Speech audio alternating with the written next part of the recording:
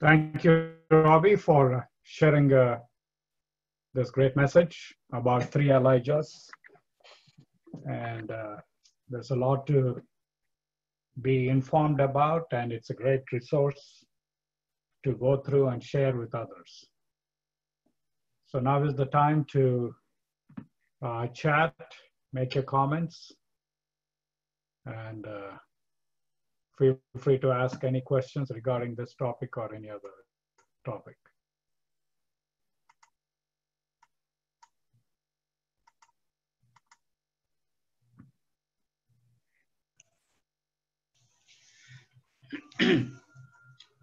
Uh, thank you, Robbie, for that uh, excellent presentation on three Elijahs.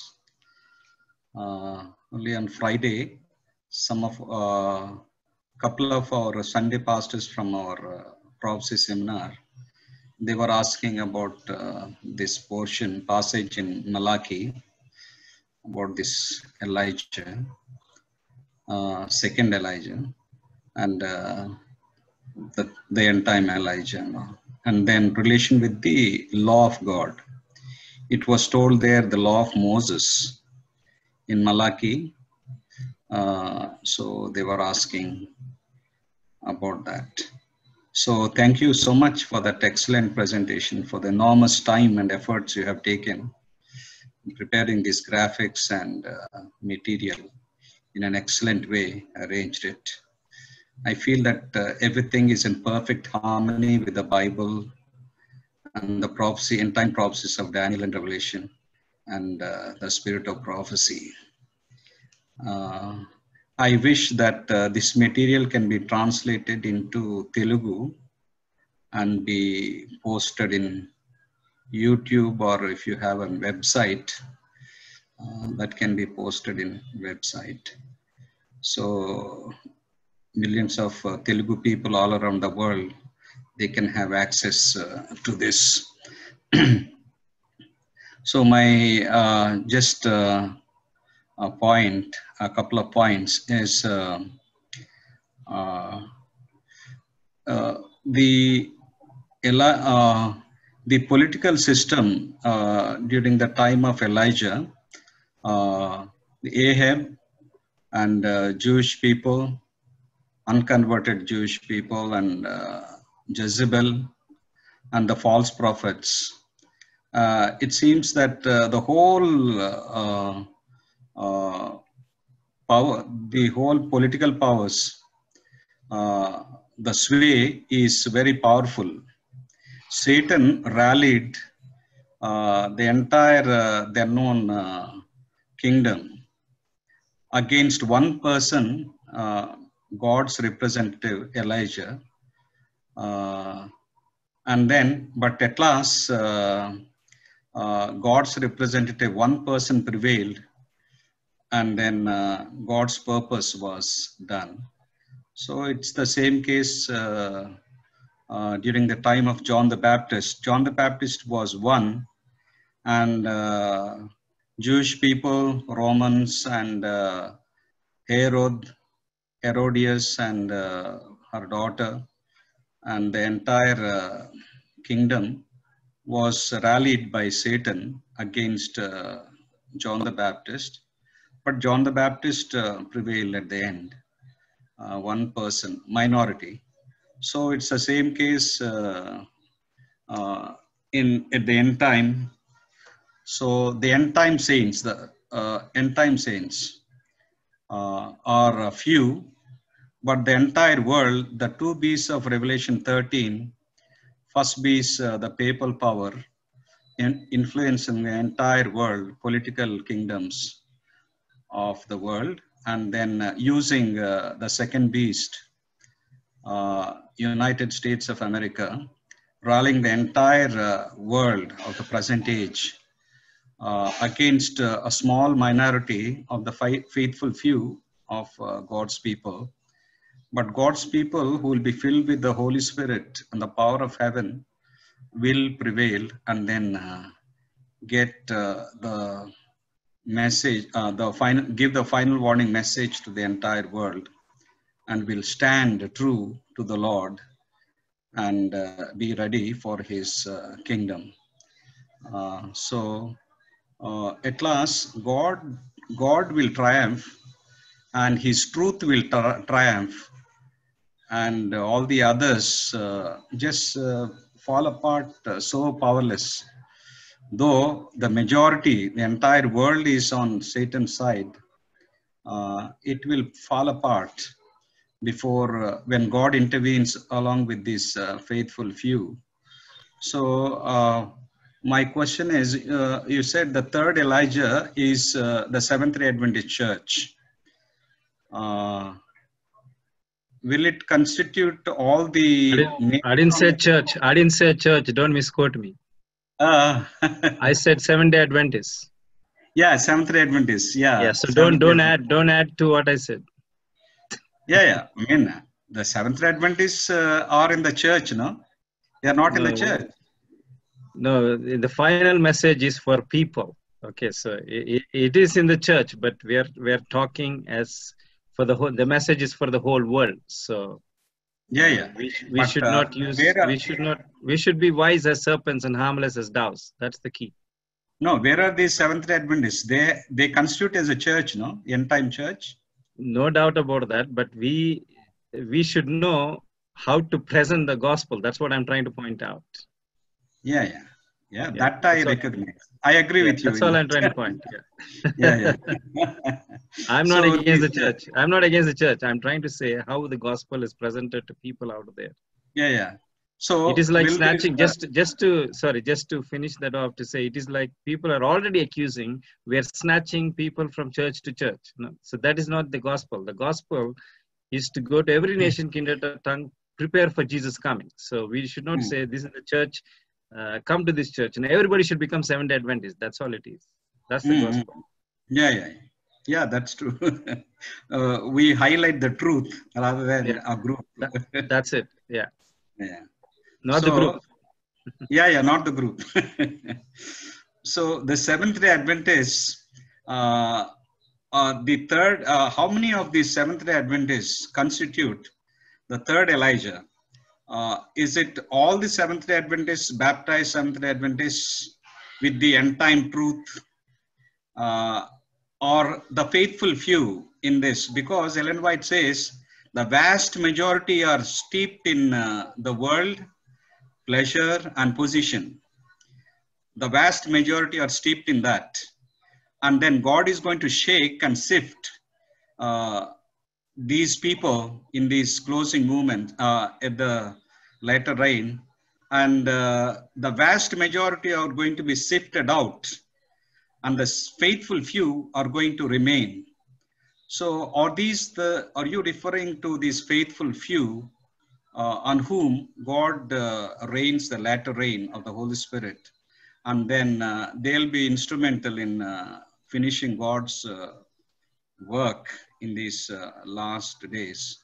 Uh, having, uh, having the true repentance, true the forgiveness of God, and they are sanctified people, they're filled with the Holy Spirit, and have a constant, uh, continuous connection with heaven, uh, the source of uh, power.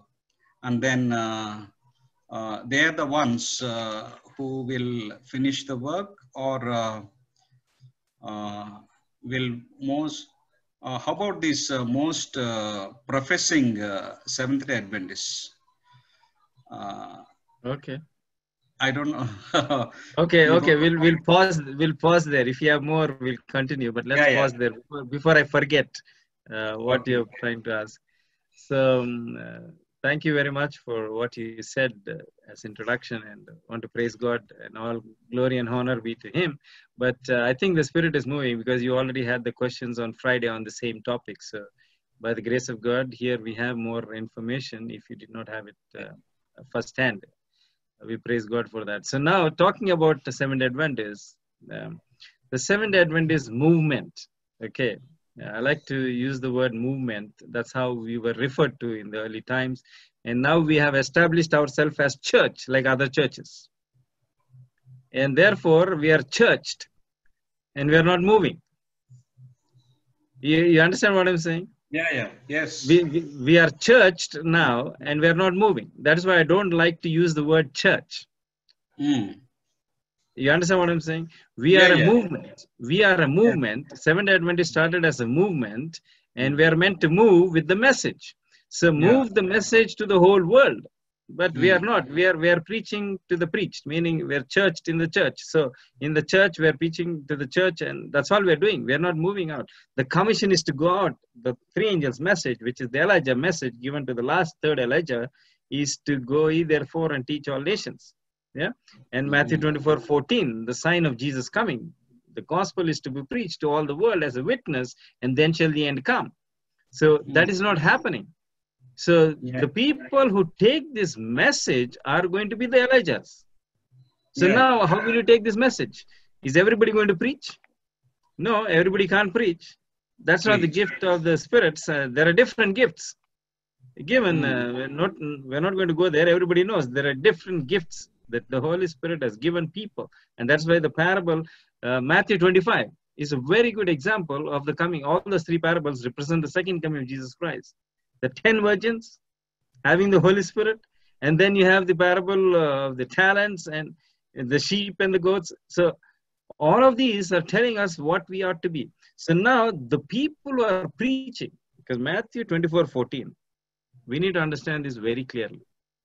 The third Elijah people need to understand this very clearly. Matthew 24 14, and this gospel of the kingdom shall be preached in all the world as a witness, and then shall the end come. So people need to see the gospel more than hear the gospel. You understand what I'm saying? Sir? Mhm. The Yeah. people have to see the gospel, then hear the gospel. So people, there has to be front runners. The Elijah should be doing something for people to see. That is their life, and that is what the statement says. Uh, There's a nice statement that um, um, I hear from time to time, and I use as well. Preach all the time. If necessary, use words. Mhm. preach all the time if necessary use words meaning your life why do you eat different why do you drink different? Why do you go different? Why do you dress different?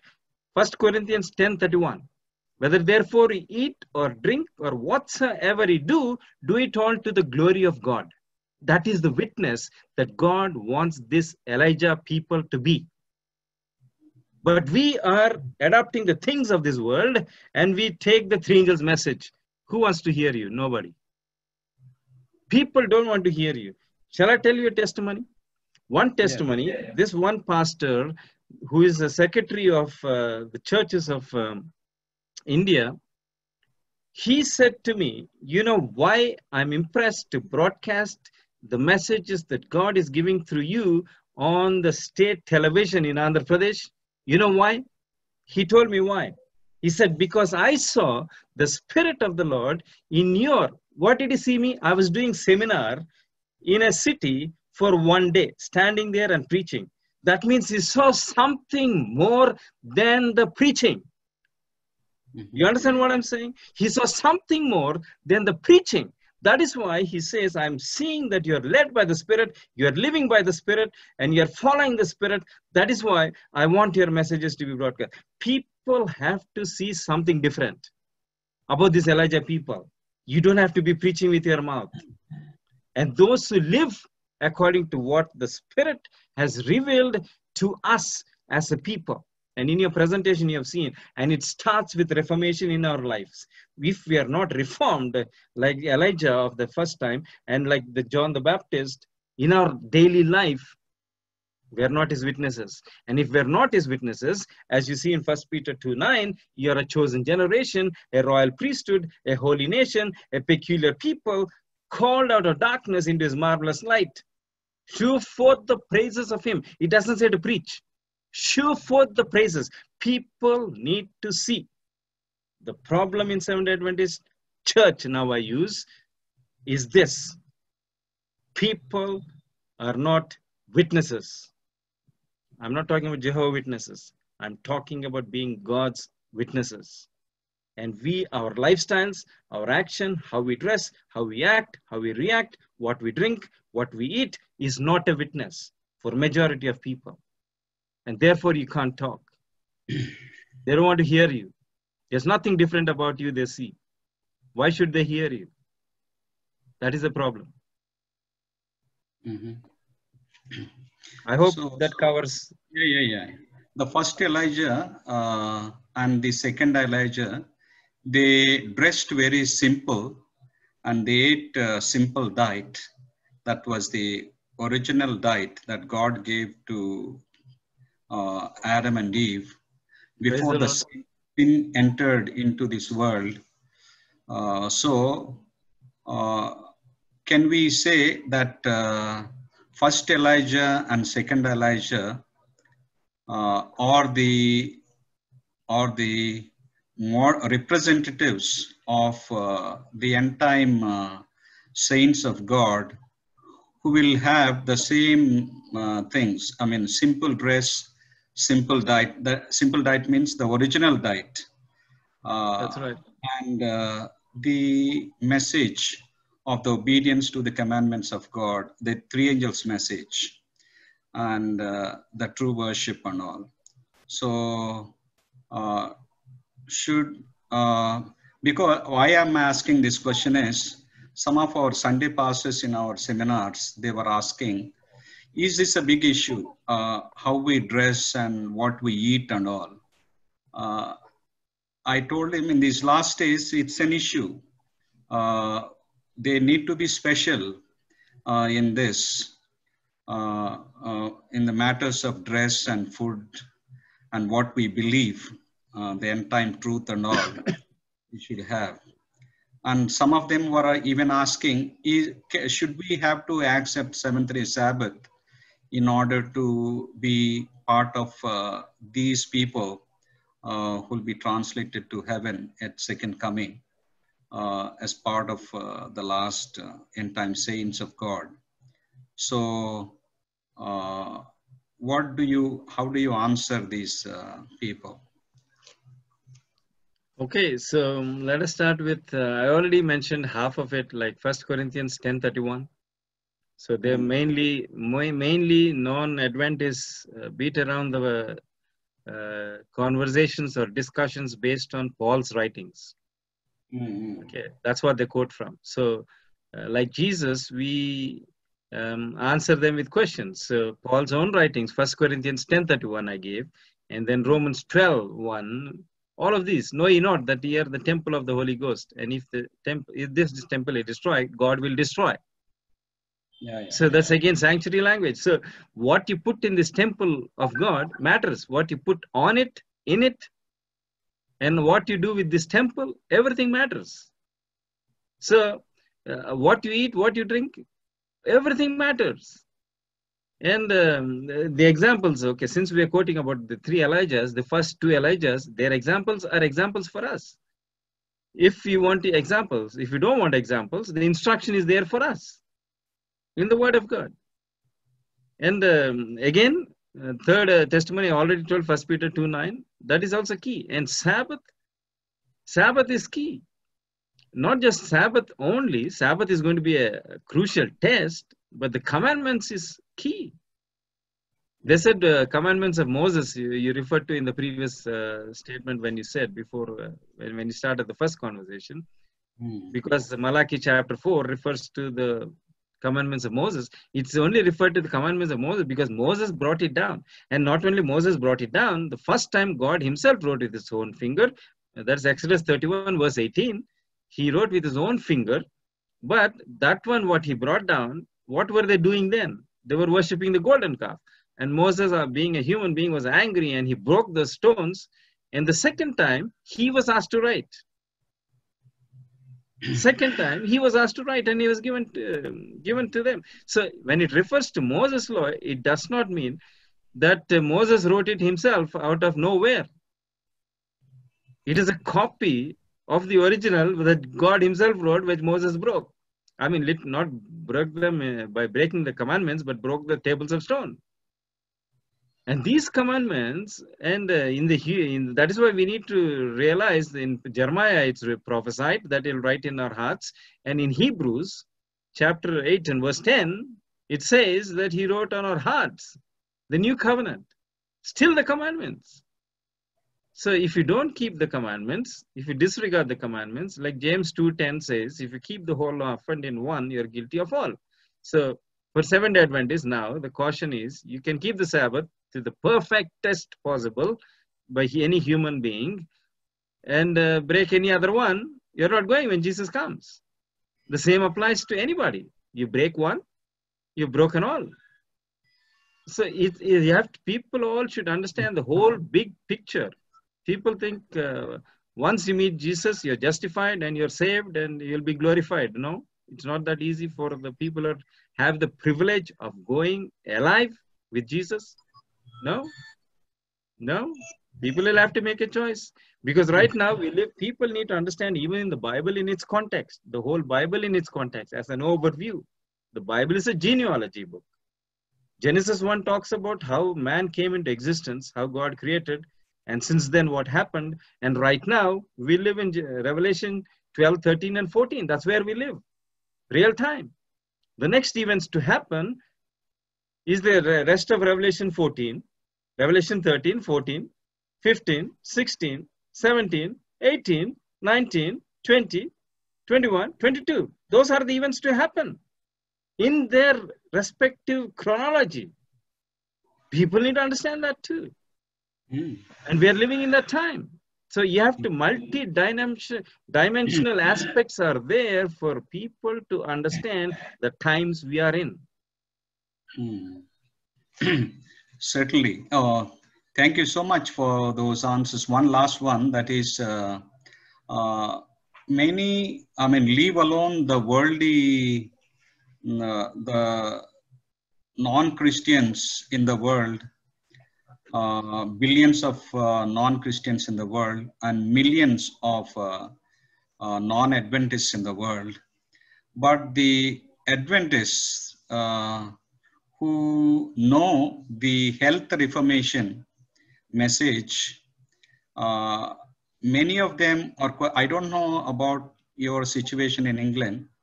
Uh, I don't know about the situation in other parts of the world, but in India, uh, most of the seventh, uh, most of the Adventists that I know uh, are not vegetarians. Uh, I mean, I'm not criticizing, fault finding, or judging, but uh, the health message in the context of uh, first Elijah, second Elijah, and the example of Daniel and his three friends. So, turning to the original diet, the diet that God gave before sin entered into this world. And very soon we are going to enter into a world where there is not going to be sin. There's not going to be flesh eating there uh, in in that sinless world uh, heaven. Uh, so uh, we cannot change at the coming of jesus uh, or at resurrection. Uh, we are going to change here only and give up that diet especially ellen white i remember saying the end time saints are not going to allow a morsel of flesh to poison the course of their stomach. People who are uh, preparing to be translated to heaven. So this is the first test in the ladder of our salvation experience. And if we fail in this, we're going to fail in over this flesh eating. You're not going to have victory over anything else that is concerned to salvation. Uh, so uh, most, uh, many of our so-called Adventists in India, they say that it's not a big matter, it's not a big issue uh, where to be a vegetarian and uh, to have uh, this original diet and all that. So what do you feel about it? Okay, you, you answered all the questions, but let me say my comments. yeah, Yeah, so following through on that, um, in my last presentation, um, uh, I think I quoted the Christian Service page 41. Uh, Mm. Christian Service page 41 uh, identifies that um, not one in 20, quoting to Seventh Adventist Church now, baptized Seventh Adventists whose names are written in the books of the church, not one in 20 is preparing for Jesus coming. Um, and that makes, if you make it percentages, it becomes 95%. And you rightly said, majority, most uh, Seventh Adventists in India, and I want to say I probably all over the world, uh, where, the few countries that I've been to by the grace of God, I've seen uh, is the same case. There's nothing much different around the world to what is happening in India in terms of diet. So yeah, uh, maybe 95% are still eating meat. Um, and maybe they did not make that first step, so they're not progressing towards uh, preparing for Jesus coming physically mentally maybe seventh adventists are very very strong uh, they keep the sabbath holy and uh, whatever comes with the sabbath context and that is why i said james 2.10 says keep the whole law and offend in one you're guilty of all. So we will fall short somewhere. And uh, god is going to uh, judge people based on the information given to them. Whether you have learnt about it and wanted to know about it it's a choice that people have to make. And majority of seventh adventists don't make the choice to study more and learn more. And majority of the preachers in seventh adventism don't teach how to prepare for jesus coming what is the process of sanctification nothing is taught even today everything is taught love grace mercy justice and all the stories and parables and the gospel and even uh, old testament and stories and going to deep um, historical and um, uh, I'm not saying we don't have to do that. We are doing ourselves. But the essence of everything is to prepare for Jesus coming. If that is not touched in any topic that is being talked about, if that essence or that thought process is not coming, it's not preparing a people. The devil has deceived our preachers in Adventism, unfortunately, majority. So our teachers, our preachers themselves have not received the message and the unction of the Holy Spirit to understand the gospel of how to prepare a people for Jesus coming. That is the biggest problem we face as a church. Majority don't teach and preach how to prepare. They say Jesus is coming. Yes, Jesus is coming, but you won't be there because you're not ready. Mm. That is the problem and 95% and if you read the spirit of prophecy she says um, countless people are going to leave when the shaking finally happens when the final shaking shaking is already happening people are not liking what is being told and they stop coming to church and whatever and stop meeting people or stop listening to people or listening to their messages when they're preaching they go somewhere else and so many things are happening but when the final shaking comes the straight message of the lord thus said the lord is going to shake so many out, countless. I believe almost 95% will leave. The nominal Seventh Adventists, and I want to say this is my personal, my personal um, statement to say that if they have not made that first step of changing the diet, they will not make it alive when Jesus comes to go with him. They will not. This is my personal statement. Mm-hmm. Based on the first sin that brought about the downfall of humanity. The, sec- the second testimony in the Bible we have is the first sin that Satan tried to bring to Jesus all food. That's where it begins. So the recovery from sin has to begin with food so that you can become pure and holy. So this is for Seventh Adventists. Mm. I know. I remember uh, I came along with you to a couple of sections uh, in India, and you you have gone to some union offices and all, and uh, you found that uh, even the section leaders and the union leaders, leave alone the pastors and the members and all, they. I remember uh, those people coming and uh, placing fish and mutton and chicken and all before you and I remember you saying that uh, it is uh, abomination to God, the end time of God, eating these uh, abomination to God, and you are not ready for the latter rain, you're not re- you're not worthy to have this entire message with you, and then you just eat. I'm leaving, and all you. I remember you leaving that place and going. So from that time, I was uh, very seriously thinking. Even at that time, when you told that, I was now and then eating uh, some uh, flesh food and all.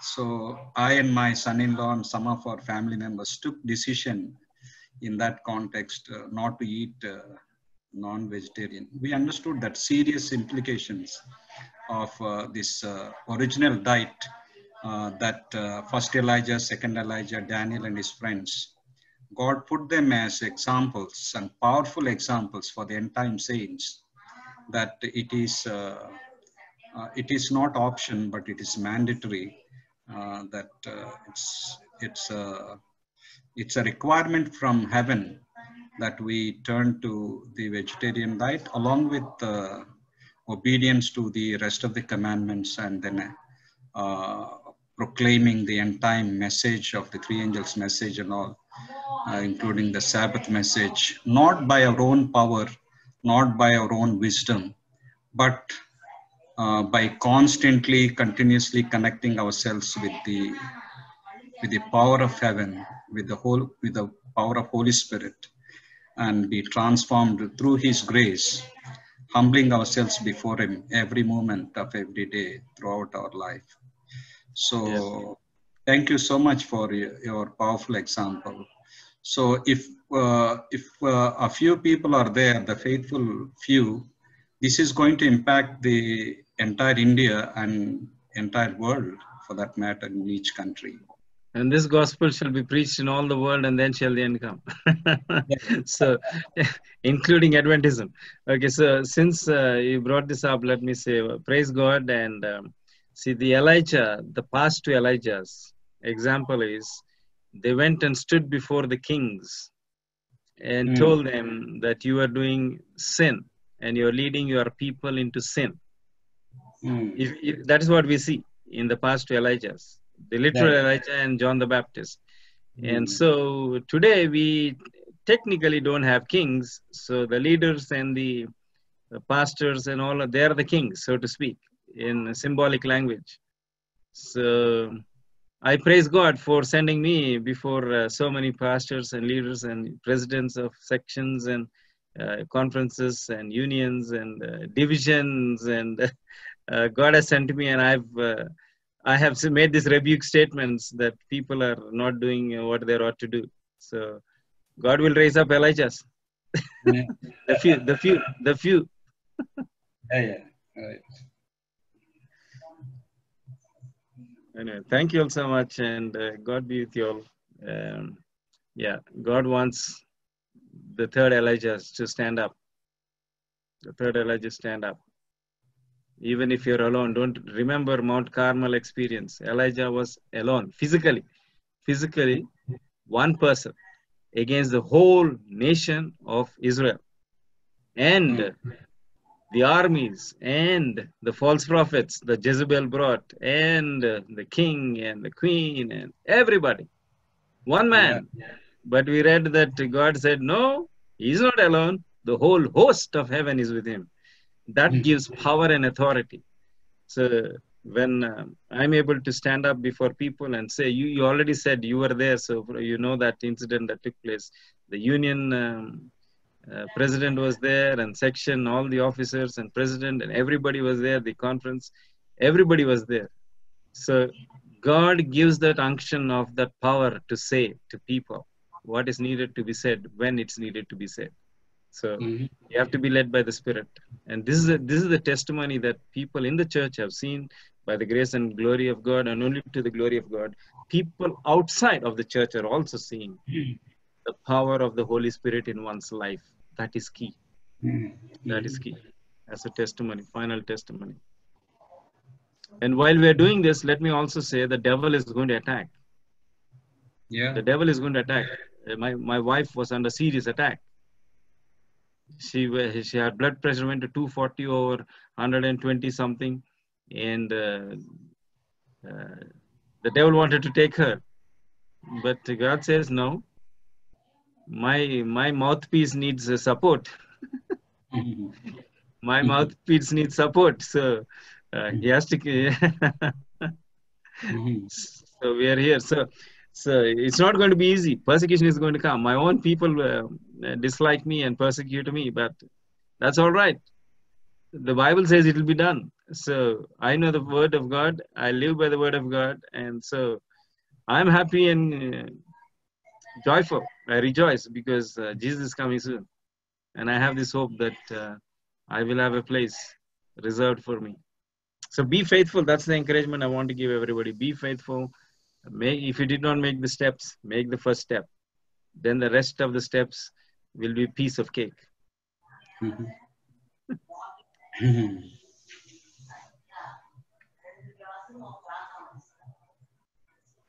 Okay, Anand, are you there?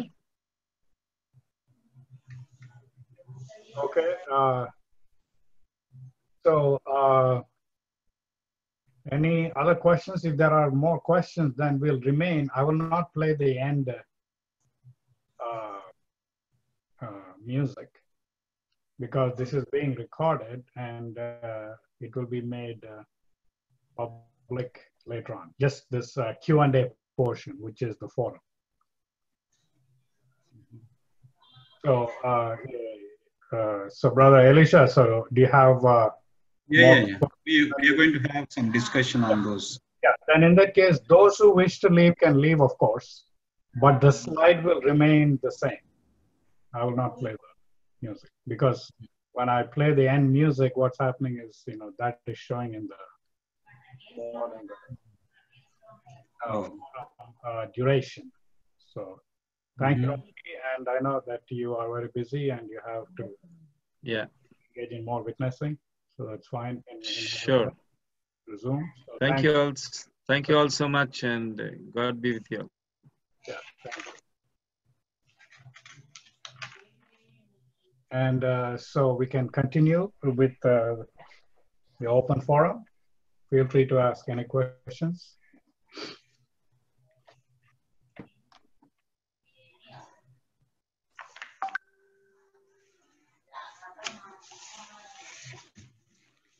Have you discussed about the uh, that portion on uh, Galatians 4 chapter 8 to 10? Okay. Uh, I did not go through the other texts that you gave me, but uh, I think we can still uh, go through uh, those texts. At least couple of texts. Uh, uh, Galatians 4 8 to 10 and uh, Ephesians 2 15 to 16 and Colossians 2 14 to 17. Okay, let's uh, take one uh, text at a time. So. Galatians 8, This is uh, Galatians 4 8 to 10. 4, 8 to 10. So let- let's deal with that first. 4, 8 to 10.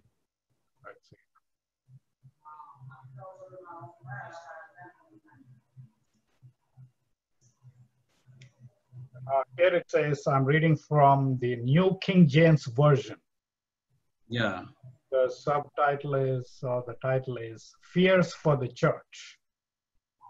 Mm. then indeed, when you did not know God, you served those which by nature are not gods. Mm. That is verse number eight. Yeah. But now, after you have known God, or rather are known by God, how is it that you turn again to weak and beggarly elements to which you desire again to be in bondage? Number 10 is you observe days and months and seasons and years. So I thought we went through this uh, Mm. last week, these verses. Uh, Yeah, yeah. Like, okay, something is yet not clear. Mm.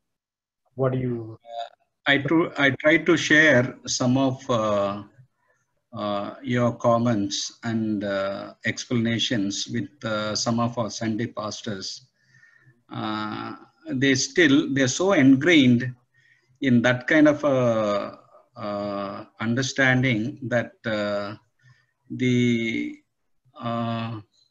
the keeping of the law uh, or the keeping of the ceremonial law of Moses and even the keeping of uh, the Ten Commandments law, external uh, observances of the Ten Commandment law uh, are uh, referred to as, uh, they say even on TV, most of the mega church pastors use those ceremonial law of Moses and then the Ten Commandment uh, law of Moses, the external observances of the Ten Commandment, uh, uh, the observance of the Ten Commandments of the law of God, the moral law of God, are referred to as weak and beggarly elements and uh, they connect them to the days and months and seasons and years.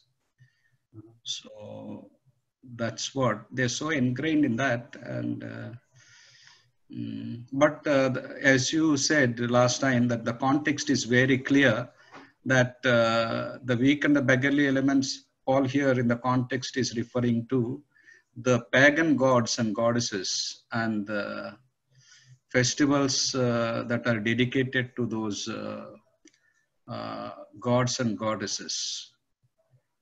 Yeah so if we if we start with verse 8, it says again, but then mm. indeed, when you did not know God, you served those which by nature are not gods. Mm. How did this yeah.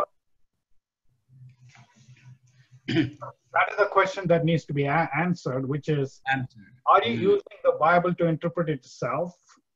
Mm. Or are you using the Bible to interpret what you may want to interpret?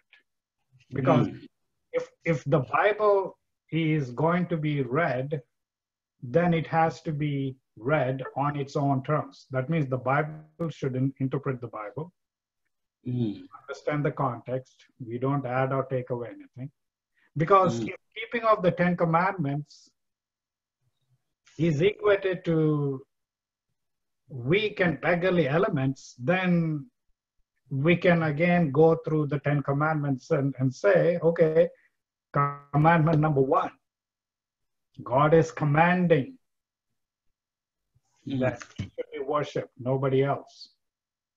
Mm-hmm. He's doing that weak and beggarly. Mm. Truth cannot be self contradictory, as we already discussed. Mm. And uh, the other simple question I will ask them is if you think that the Ten Commandments keeping is equal to being weak and uh, legalistic. How do you explain what Jesus said when he was asked, you know, a question? He said, If you love me, keep my commandments. Mm. no commandments to keep, then everyone can do what they want. Why are you preaching sin? Okay, fine. If you think that Ten Commandments is uh, done away with,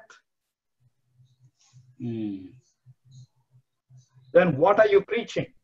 You, you can ask them the simple question What are you preaching? If you're mm. preaching repentance from sin, sin cannot be known unless there is a transgression of the law. Mm have to start with the definition of sin. You, you can ask uh, anyone who's still resisting uh, uh, the keeping of Ten Commandments or the commandments as being still valid is do you understand what sin is? Yeah, yeah. Sin is what? If, if the Ten Commandments are taken away, okay, for the sake of argument, what remains? Mm-hmm. Why are you going to church on Sunday? If the keeping of days has been abolished, why are you keeping Sunday as a resurrection day on a regular basis? You should not keep any day. Freedom has been granted from the keeping of all laws and traditions and any customs You know, Paul went to church on Sunday. Okay, uh, if if you believe that uh, freedom has been granted fully from the observance of God's moral law and the observance of any customs of anyone, including Jesus, why are you going to church on Sunday and preaching the, the repentance from sin? Mm-hmm. Everyone is free now. All you have to say is, God, I accept your salvation. You are my rest and you are my salvation. And now I will do whatever I want. Mm. Why should anyone who believes that the Ten Commandments moral law has been abolished continue to go to church every Sunday and then mm-hmm. preach against sin? There is no longer sin. It's all like, you know, uh, uh, indulgence, self indulgence. There is no sin. Yeah, yeah. So, on the other hand, if they come back and say, well, you know, it says in the Bible that do not forsaking the assembly of the believers. And I said, well, that's a contradiction then. Mm. Why you should assemble? Why should you uh, assemble as believers when you're also preaching that we do not need to assemble on a regular basis? You're self-contradicting. Mm-hmm. You cannot say we should assemble as believers on any one day while at the same time preach that you know you should come to church every Sunday because Jesus died and rose on Sunday. That is a custom that has been made after Jesus' death several, you know, who knows, decades or centuries later. The Bible is very clear about commandment keeping as essential to obedience. Mm. By faith are we saved to obedience. By faith we are saved and by obedience we live. The law itself will not save you, but the lawgiver will save you. But the lawgiver will not save you if you disobey his commandments, because Jesus said, If you love me, keep my commandments. So if the commandments are abolished, which Jesus or who are you worshiping is the question. The first question is uh, to be answered, which is Do you preach repentance from sin? If you preach repentance from sin, you have to define what sin is. Sin is the transgression of the law. That's what is in the Bible. It's not made up by Adventists or anybody else. Mm. So, what is that law? If you preach that the law is uh, abolished, what law, uh, you know, what, what is sin then? Mm. Can I lie? Can I uh, fornicate? Can I kill?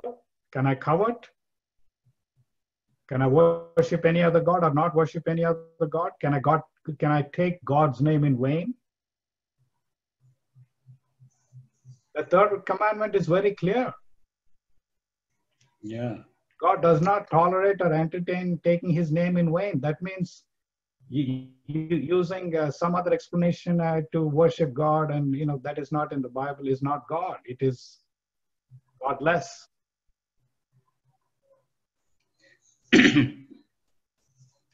Uh, some of were, uh... you have to tell him. Start with the first word.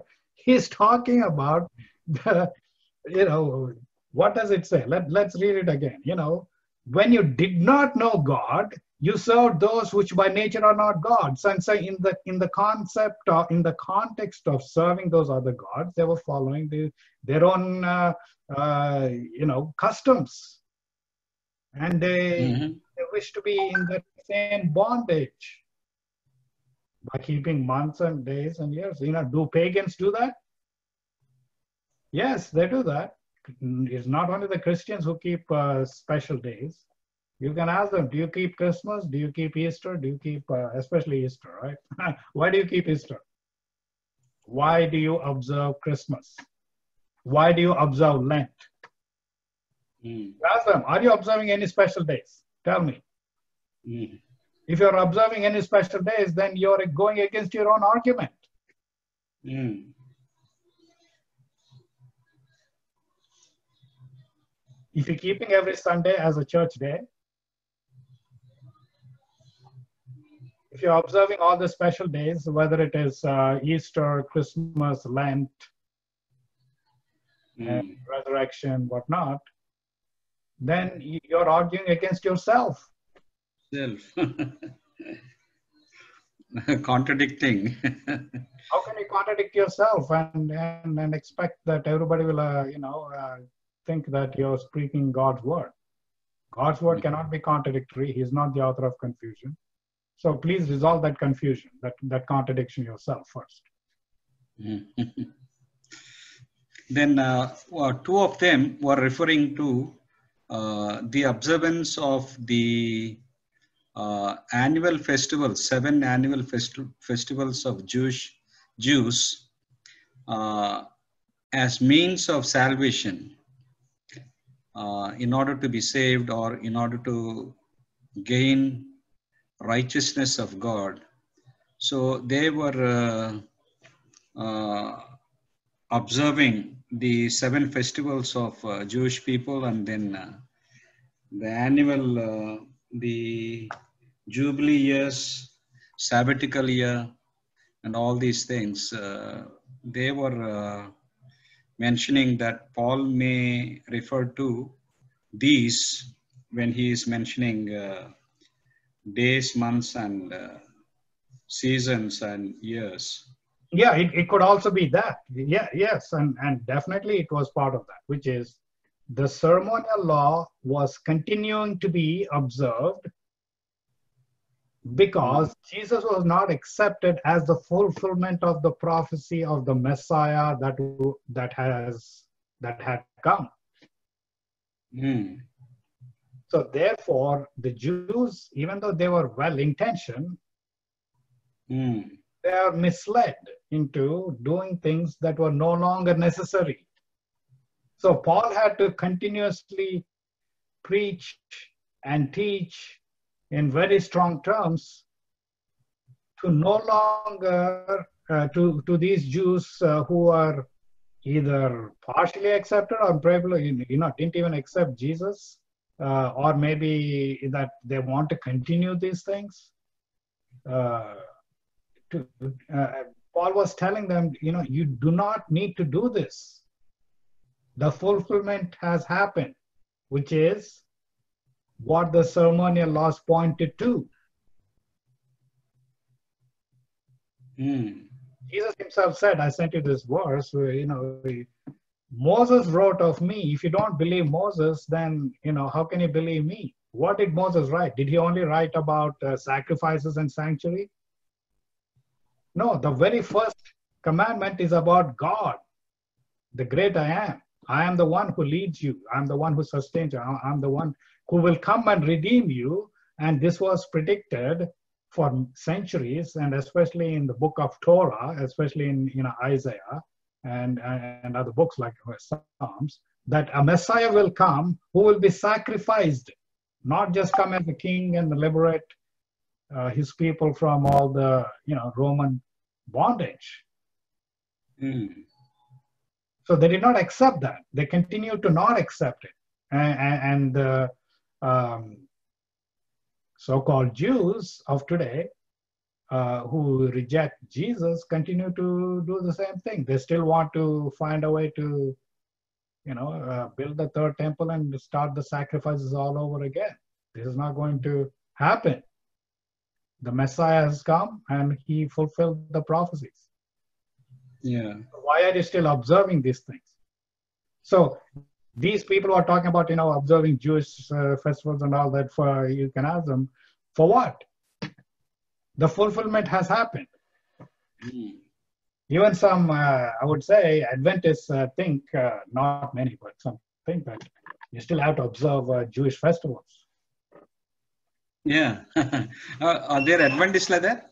Yeah, I, I came across, you know, some, you know, I don't know if they're truly Adventist in that sense. Uh, they observe uh, Passover and all. Huh? At least that's what they said to me. I don't know if they're actually doing it. Uh, Ah. One person, he, he thinks, that, you know, the Jewish festivals should still be observed. And, and another lady said that uh, all these other commandments uh, found in Leviticus about other things still need to be kept.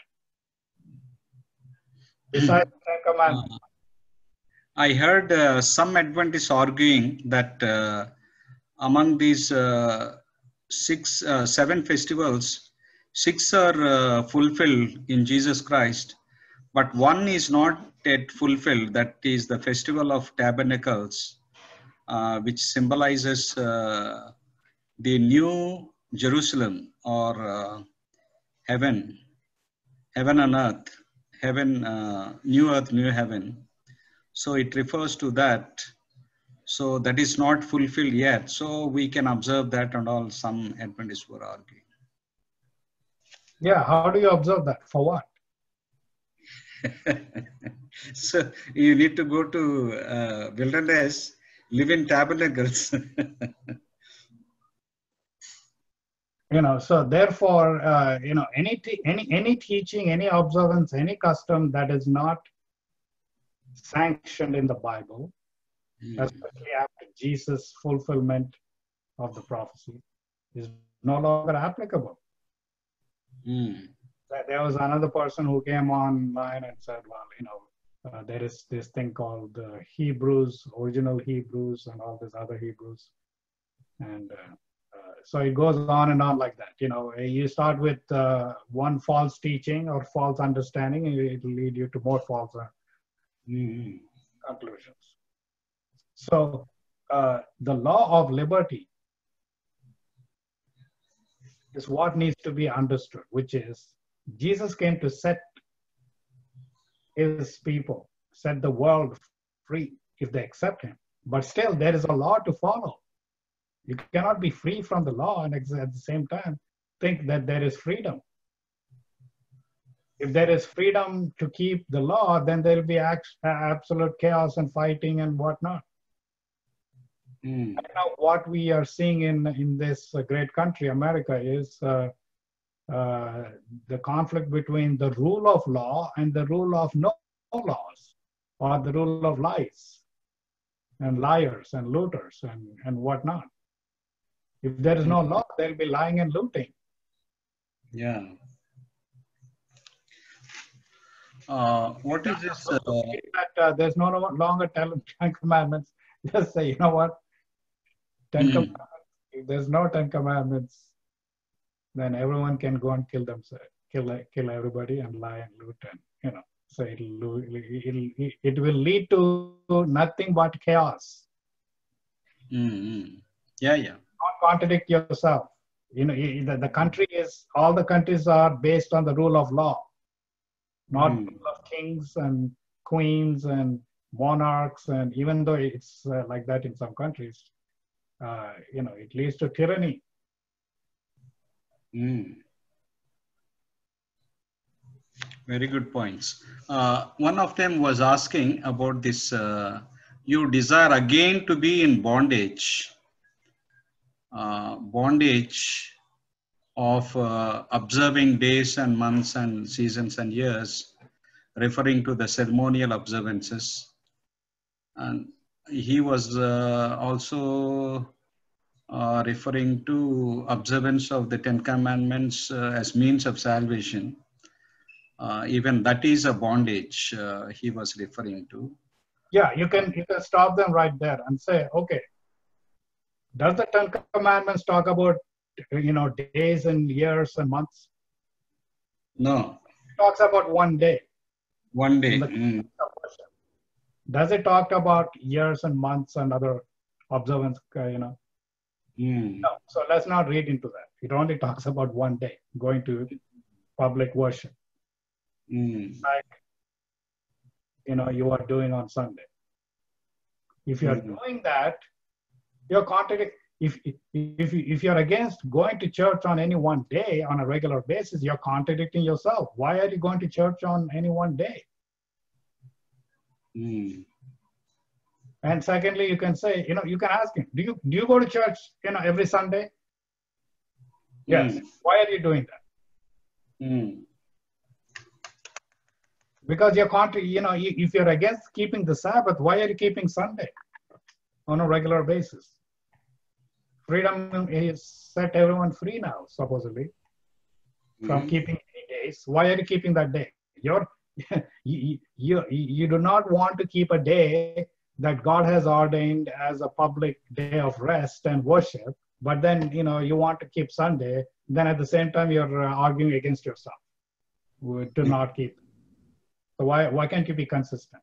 And secondly, you can say, do you observe years? Do you count years? Do you count months? Do you do you count weeks? Do you observe Easter? Do you observe Christmas? Do you do all these things? These are meant to be markers in time, milestones in time.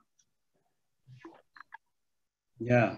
What the context that is being talked about in that particular verses is, you know, the, in the context of uh, some uh, worship that was continued or being continued, you know, uh, by, by, by those who rejected Jesus, or maybe they, they accepted Jesus, but they still don't want to give up those things.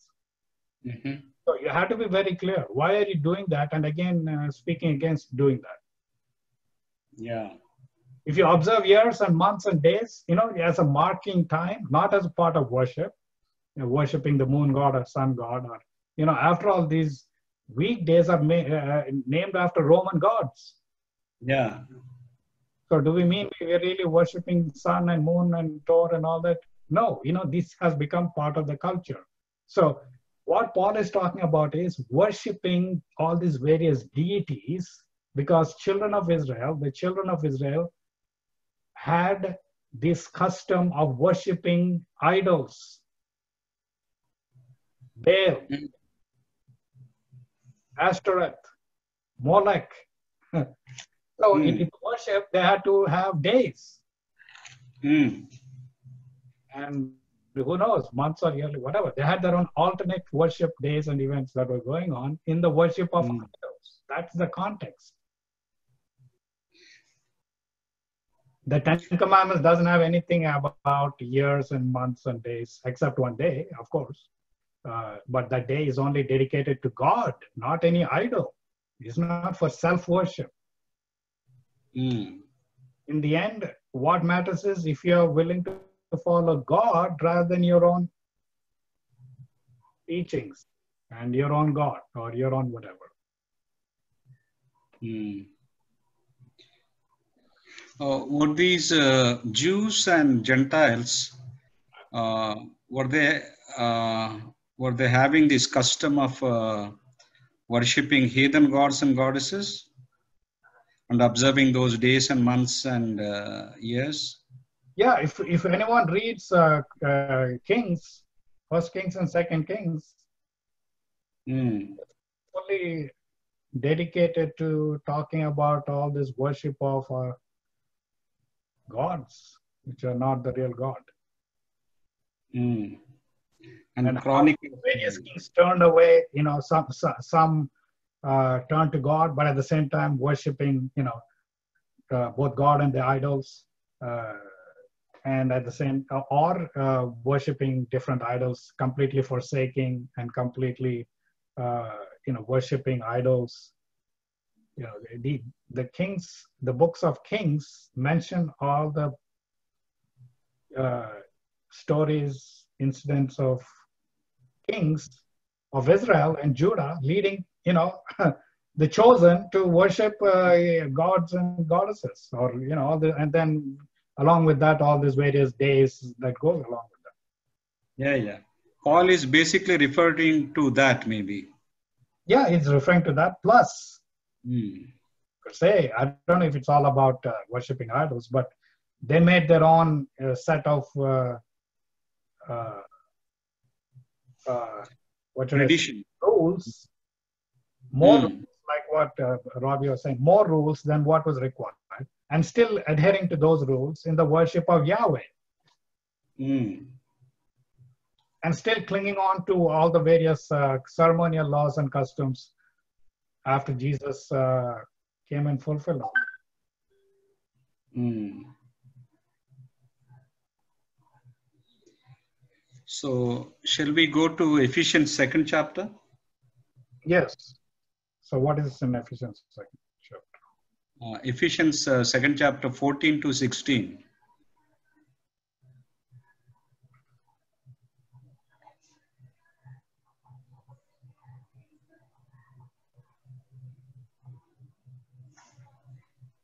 Ephesians 14. Uh, Ephesians 2, uh, 14 to 16. to 14 to 16.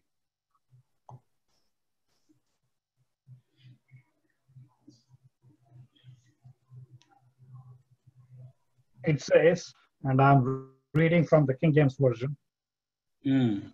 verse number 4, uh, 14. For he Hmm. is our peace, who hath made both one and hath broken down the middle wall of partition between us. having Mm. abolished in his flesh the enmity, even the law of commandments contained in ordinances, for to make in himself of twain one new man, so making peace. And that he might reconcile both unto God in one body by the cross, having slain the enmity thereby. So, what is the question? The question that they ask is uh, the wall of separation uh, between God and man. Actually, that's not the context, but uh, they uh, read into it and then ask uh, that the wall of separation between God and man is the law of commandments, uh, referring to the Ten Commandments and both Ten Commandments and the ceremonial law. Uh, so Christ, uh, when he died on the cross, he abolished that. Uh, the law of God and the ceremonial law of Moses. Both of them he abolished and uh, he made peace now. And he reconciled uh, human beings with God, uh, putting to death the enmity uh, caused by sin. So that is what they understand, but uh, the context is not that. The context is between the enmity between Gentiles and Jews, is it? Yeah, let's read, uh, you know, uh, number 15, verse number 15. Having Hmm. abolished in his flesh the enmity, even the law of commandments contained in where? Ordinances. So there were many ordinances which are uh, of uh, the ceremonial law Hmm. that you you have to do like this, you have to do like that, you have to, you know, it, it was basically uh, a kind of observance that was not, you know, uh, uh, leading to peace, so to speak, even though God Himself ordained that to happen. So it is saying the law of commandments contained in ordinances. Hmm. So if you are not going to make a distinction between the Ten Commandments moral law and the Hmm. ceremonial law, and you think that there is no longer, you know, a law to keep, the question is, why are you going to church on Sunday? Hmm. Why are you preaching, uh, you know, repentance from sin? If there's no longer any law now, and we have been uh, set free from the keeping of any moral law, let Mm. alone the ceremonial law that pointed to Christ's uh, death and crucifixion, uh, crucifixion and death, then uh, there is no church to go to. Yeah. I should be able to lie and steal and uh, fornicate and you know do everything. Hmm. And then it is in direct contradiction to what Jesus said that if you love me, keep my commandments. So use that in in a, and in the same uh, what should I say uh, uh, juxtaposition to come uh, you know to to read the other words, which is Jesus said, "If you love me, keep my commandments." And here Jesus is uh, supposedly saying that well, you don't need to keep the commandments. So how can these two be true at the same time? Hmm. You can say, you know, Jesus said, keep my commandments. Even in Matthew 5, he's saying, you know, you, your righteousness should exceed the righteousness of the Pharisees. And he, he clearly says, Think not that I have come to abolish the law. Hmm. So, you know, if Jesus very clearly said, Think not that I have not come, think not that I have come to abolish the law, what law was he talking about? And then, of course, they might say, well, you know, he, he fulfilled the law. Therefore, we do not have to uh, observe it or fulfill it. If that, that's the case, then explain why Jesus said, if you allow me, keep my commandments. Which commandments? And if they say, well, love God and love your neighbor. But I thought we he those were just abolished. And those are based on the Ten Commandments anyway. Not on the ceremonial law. The ceremonial law was actually the result of breaking God's first commandment, which is do not eat. Do not do that which I told you not to do. And because of the breaking of that particular commandment, then now we have 10 commandments.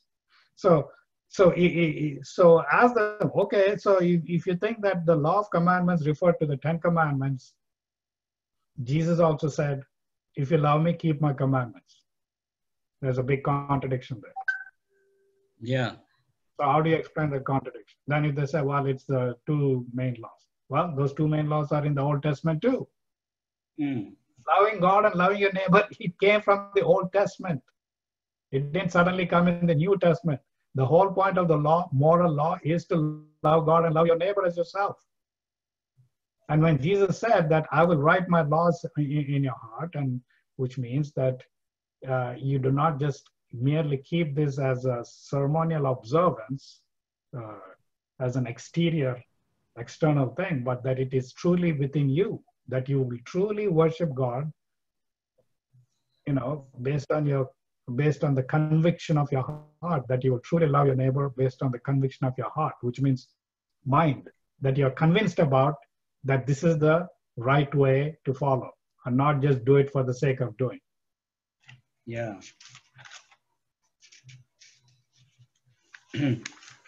About this uh, enmity between uh, in the church of Ephesus, there were uh, many Jews, Jewish converts and the Gentile converts. And the Jewish people, uh, they, since they have the ceremonial law, since they have the Ten Commandments law, since they have the prophets, uh, since they have uh, uh circumcision and promises concerning circumcision, the covenant, uh, so they are the special people, covenant people, so they built a wall uh, of superiority and uh, built a wall of pride and prejudice between them and uh, Gentiles. Uh, so uh, uh, is Paul referring here that Christ came to came and died for both Gentiles and Jews, uh, same in the same manner, uh, so that uh, he destroyed the, the wall of racism and the wall of uh, pride and uh, prejudice and hostility. It's a wall of separation. Uh, so it's a wall of enmity between Gentiles and Jews. So the Jewish people actually they need to be thankful and humble and loving, but they treated uh, their Gentile believers as dogs, slaves, and some of them called them as uh, wood for the hellfire.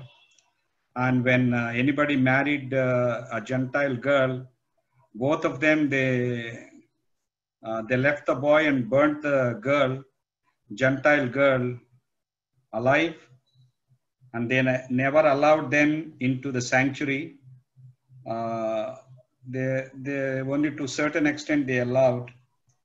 So Christ came to make the peace uh, between them and all.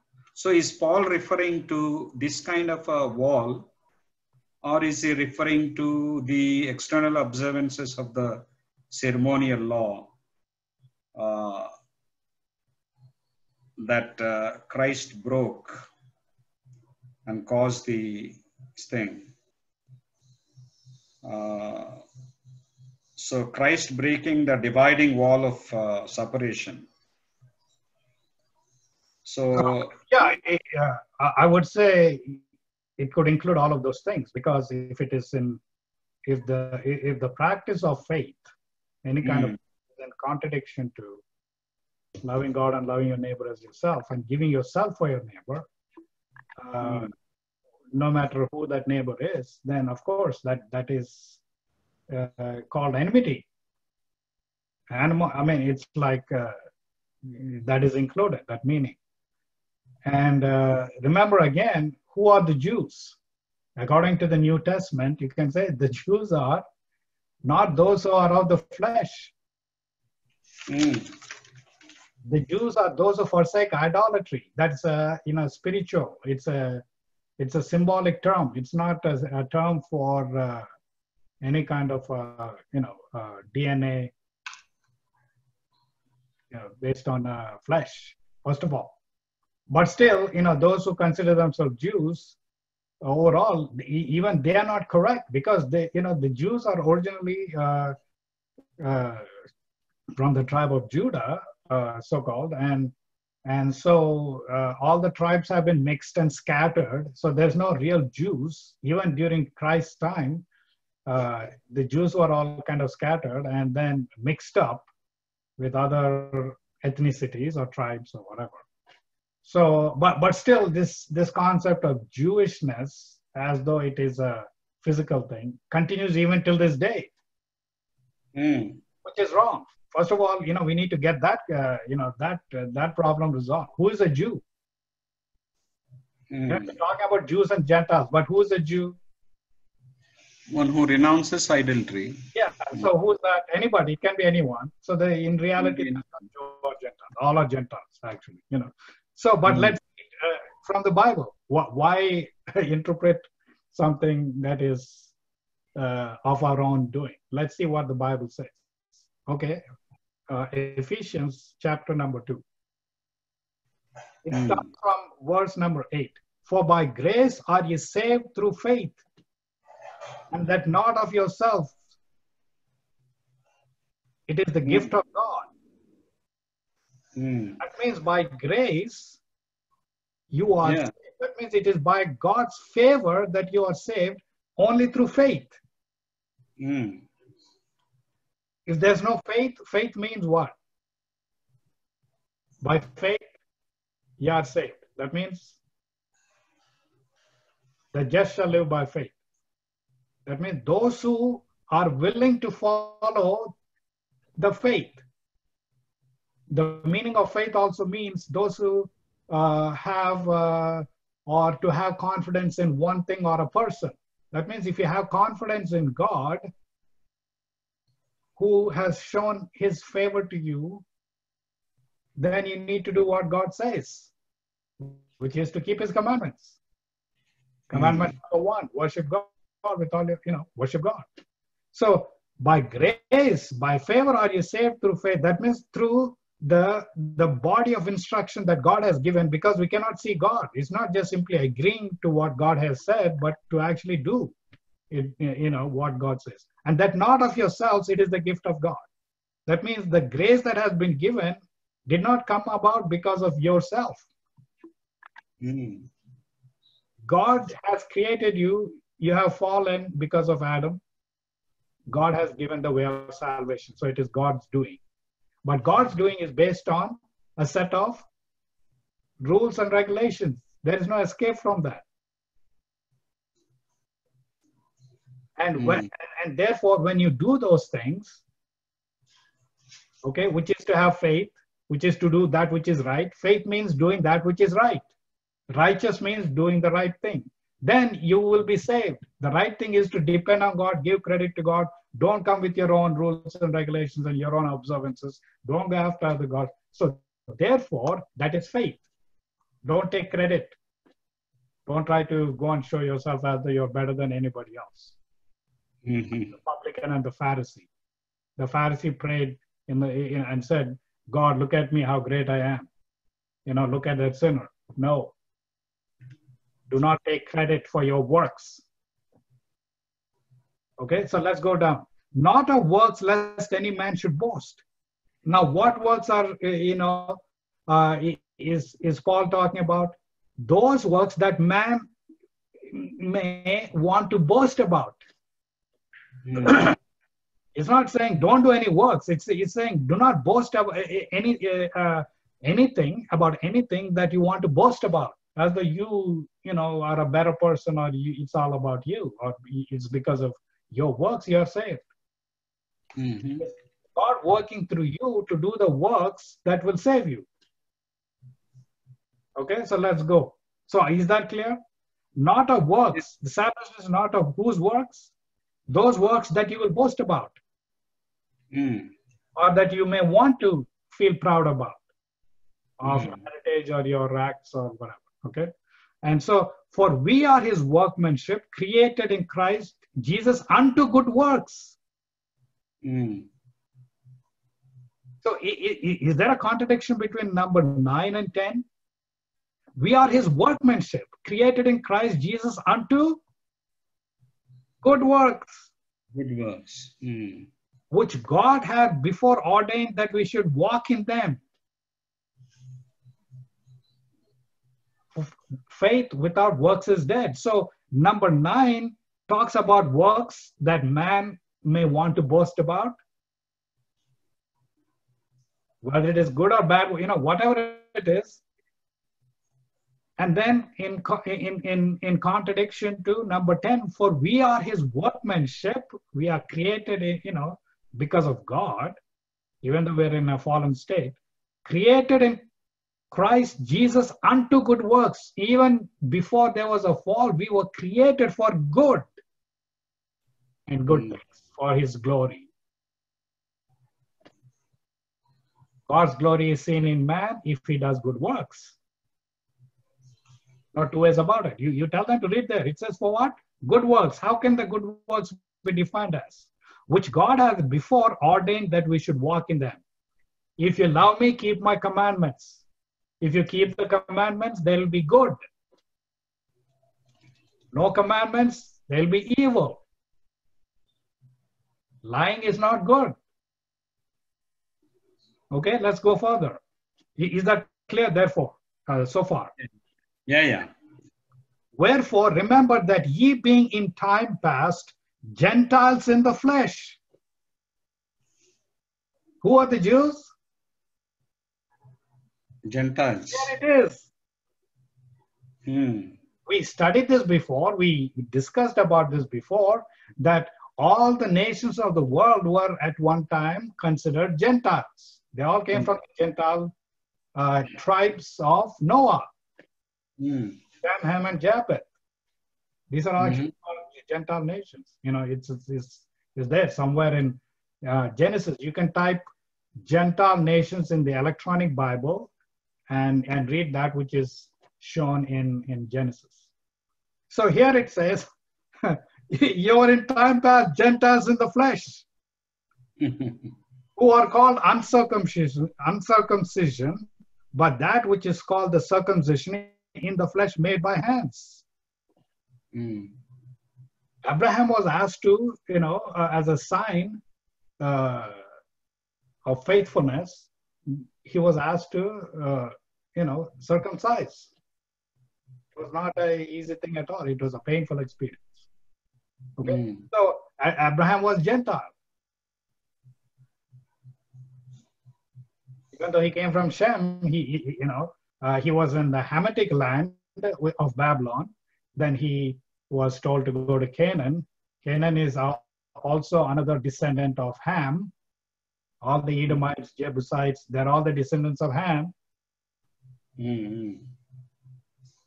And so God picked up one person from one, you know, uh, one tribe or one son, Shem, but they're all fallen beings. But he picked out one person who, who was showing uh, in his own life that based on the light he received, he wanted to worship the one true God, right?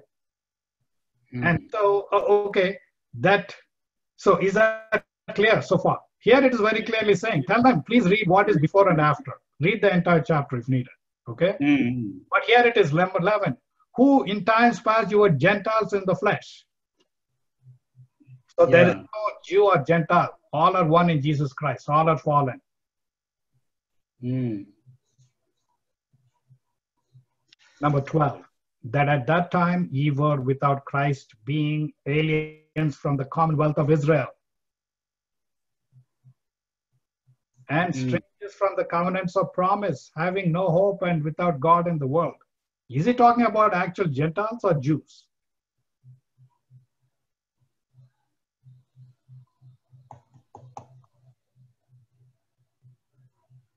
If you read from the very beginning, it seems like you know he's talking about uh, Jews, unless I'm mistaken. You know, you, you can correct me. Yeah, yeah. But even He's, then, he's Yeah. addressing the Jewish uh, people because of their superiority, pride, and prejudice. They are the ones uh, who created this wall of controversy and hostility. that you know, you know, us and them. Mm. Is the us and them still going on today? The controversy between us, the elect, the select, the enlightened, the you know, the saved, and those who are not saved, and those who are not elect and select. Yeah, yeah. Controversy is still going on. The basis of discrimination, Discrimination, racism, racism, and bigotry. bigotry. yeah. that in America right now. You know, we are uh, uh, of one, you know, uh, kind of race, white or whatever, you know, and Mm. we have every right to rule. Or we are Christians. We Mm. dictate to others as to what they should believe. Mm. They will not practice their own beliefs, but they want others to practice. You can Mm. see that in politics today. It's very, it has had very destructive consequences. There's no doubt about it. The us and them. Mm. Jesus came, Yeah. to, you know, remove the partition between this us and them kind of feeling. Mm. Everyone is adopted into the commonwealth of Israel. Who are Israel? Though, you know, Israel is actually uh, the term given by who to who. Jacob. gave, you know, one who fights and succeeds or something like that, right? Israel. God gave the term, it is God's name that was given as a symbol to mean something symbolic. Yeah. To Jacob, who was a cheater, who, who, who cheated and stole from a birthright from his, uh, uh, from his brother, okay? Mm. God is in the business of saving Gentiles, those who are fallen. God is Mm. not in the business of keeping everyone separate in their own camps and blessing, you know, everyone in their own camps. God wants everyone to go share the blessings, mix with everyone, scatter around the whole world. Don't build a tower for yourself. Mhm. Okay. So therefore, uh, what what else is you know talking about here? But now, okay. So did we understand number twelve? Yeah, yeah. You are Understood. From the commonwealth of Israel. Who is Israel? There was no Israel, you know, to, to begin with. The, the Hmm. commonwealth of Israel and strangers from the covenants of promise. What is a promise? Having Hmm. no hope. Mm. Without God in the world. When you're without God in the world, you engage in cheating and lying and killing and stealing and all these things. Mm. worship God, the true God. So it is through the commonwealth of Israel, that means through God's intervention in one person who at least was showing, you know, faithfulness or, uh, or, wanting to fight against God himself, you know, uh, that God renamed that whole tribe as Israel. Mm. Otherwise, they're actually Jacobites. Mm. Yeah. and strangers from the covenant of the what is the promise that god will save you from your sins and through Yeah, you the whole world Yeah. not only save you uh, and your tribe and your race and, and then you can boast about how great god is and the messiah will come just for you and then god will uh, and this so-called messiah they're still waiting for will uh, uh, attract everyone to uh, I don't know what, to, to, to look at Jerusalem or what. I don't know. It's, it's very hard to understand that, uh, you know, they're thinking in, in this regard. The, the whole concept of Israel is the promise of salvation to all mankind. John 3.16. Mm-hmm. How can there be salvation from sin if that sin it will continue, which is a transgression of God's law? The salvation Mhm. is from, you know, transgressing God's law. God's law is God's nature, God Himself. So, what is salvation? Is a question that needs to be asked, which is salvation is about being saved from sin, Mm. not in sin, not uh, like you know from keeping the law. Was salvation based on keeping you know from from keeping the law? What kind of salvation is that? Then in that case, everyone should be saved and will be saved. No one should go to hell because they Mm. believe that you know if you sin and do not accept Jesus, you will go to hell immediately after you die. Then you can answer that's a contradiction because there is no sin according to your own interpretation. If there's no law, there is no sin. If there is no law, for example, to a country, there is no violation of the law. Mhm. If there's no law saying that I should drive on the right side of uh, the road, and then uh, if I go on the left side, then I should not be punished. If I cross the red light, then I should not be punished because let's say there's no, uh, you know, uh, law stating that I, I cannot cross the red light. You can you can tell anyone the number one problem with the, the whole world right now it, it is the breakdown, the disorder, the uh, it- it's all uh, based on the rule of no laws,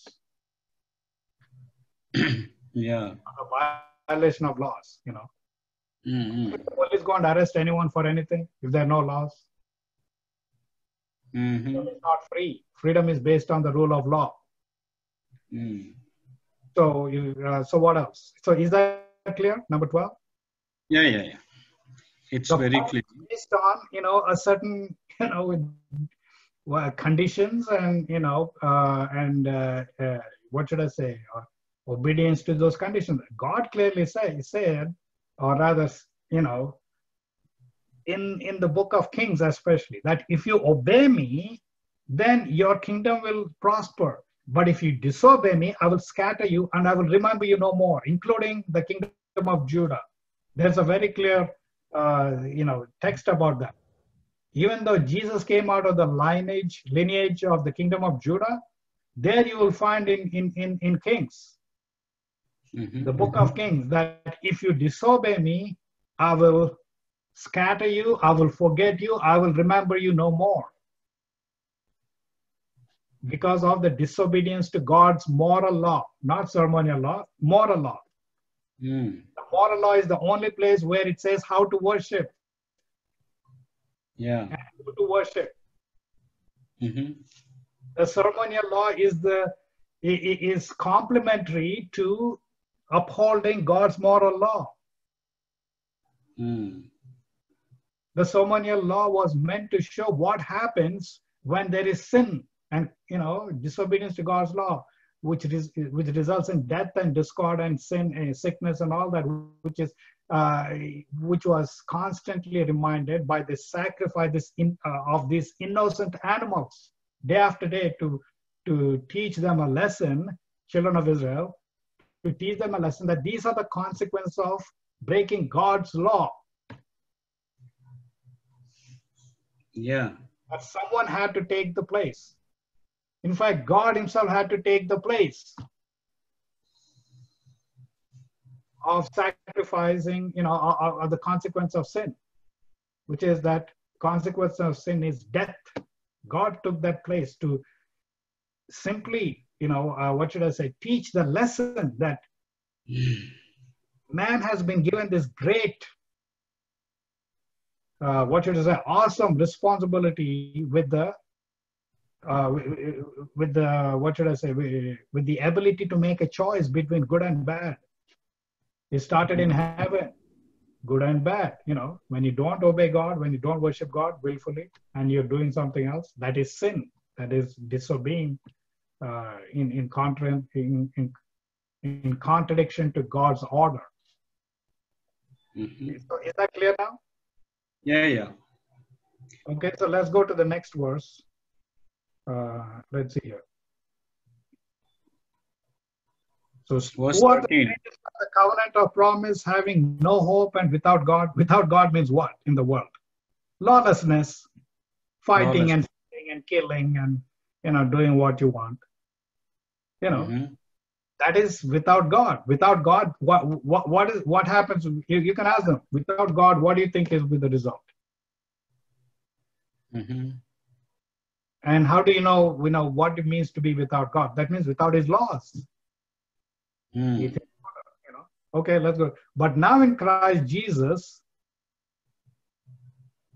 you know, but now in Christ Jesus, ye who sometimes were far off are made nigh by the blood of Christ.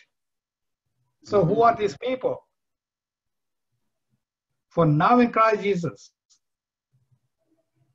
Yeah, he's referring to both Jews and Gentiles. from. It is everybody. Everybody. Mm. John 3:16. So by the price of the blood of Christ,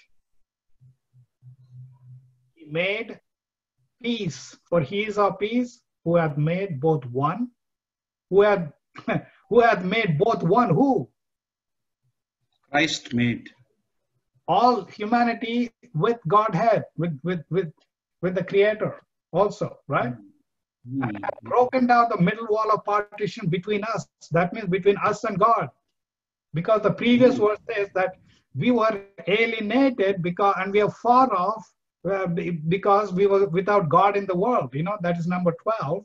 And then the solution is, but in Christ Jesus, you know, you know, because of his sacrifice and blood, which was constantly being pointed to in the ceremonial law before Christ came, so he became our peace so that we no longer have to be at enmity with God or with each other. So those two points again come there. Mm. Having abolished in his flesh the enmity. That means the enmity has been abolished by a person called God who revealed himself as Jesus. Only a person can guarantee salvation, not just a set of laws set of laws are there to point to Jesus Christ or the God that has revealed himself. In fact, Jesus said, you know, Moses wrote about me. And at one other place, it says, you know, uh, the Jews wanted to uh, stone him to death because he claimed to be God or greater than Abraham or something like that. Okay. And, and, and so he said, before Abraham, I am. So the I am that revealed to Moses who he was is Jesus himself. Mm. I am the Lord God. I am, you know, the one who rescued, uh, who, who brought you out of the land of Egypt.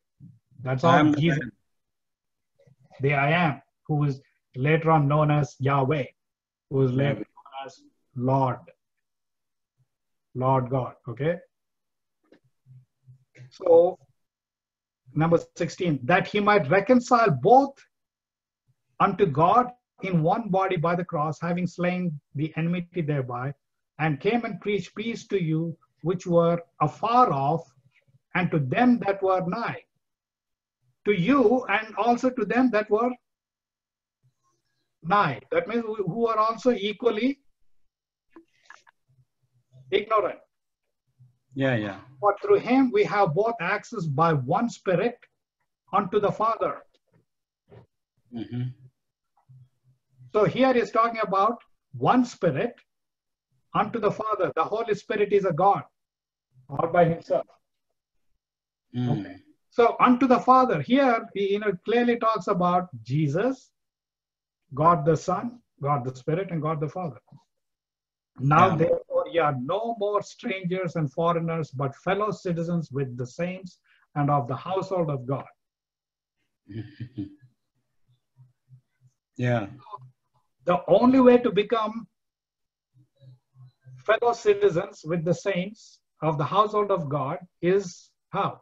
If you accept Jesus, the blood, the, the, the, the sacrifice that was offered, which the Jews, so called, are refusing to accept, even till Mm. this day. Many have accepted. Many Gentiles also don't accept. Not all Gentiles accept. Mm. And some of the Gentiles, uh, you know, are also with this uh, uh, uh, erroneous teaching, unfortunately, that there is uh, one track of salvation to the Jews and another to the Gentiles. While the Bible very clearly, especially in this, you know, uh, verse, Ephesians uh, 2, in this chapter, talks about who are the Gentiles. All are Gentiles. All are Gentiles, yeah. It's very clearly, you know, put there. And Jesus came to make peace with those who have lost their way through his blood. And then here it talks about, you know, the Spirit and the Father. And, and number 19, Ephesians 2.19. Now, therefore, you are no more strangers and foreigners. Okay, we read just that. Uh, you're the, uh, of the house. But, and uh, number 20, sorry. And are built upon the foundation of the apostles and prophets, Jesus Christ himself being the chief cornerstone. Mm. So, what is the foundation of the apostles and prophets? Jesus Christ. Mm. Yeah, because he's the one who revealed himself to the 12, you know, disciples, an apostle, Mm. you can say. And, and, and Paul was called to be an apostle, sent from God, sent from Jesus. Uh, and so, number 21, in whom all the building fitly framed together groweth unto an holy temple in the Lord. Mm. So this temple is actually what? It's not a really a physical temple. Mm. Says somewhere that you are the church. You are the temple of the living God. Mm.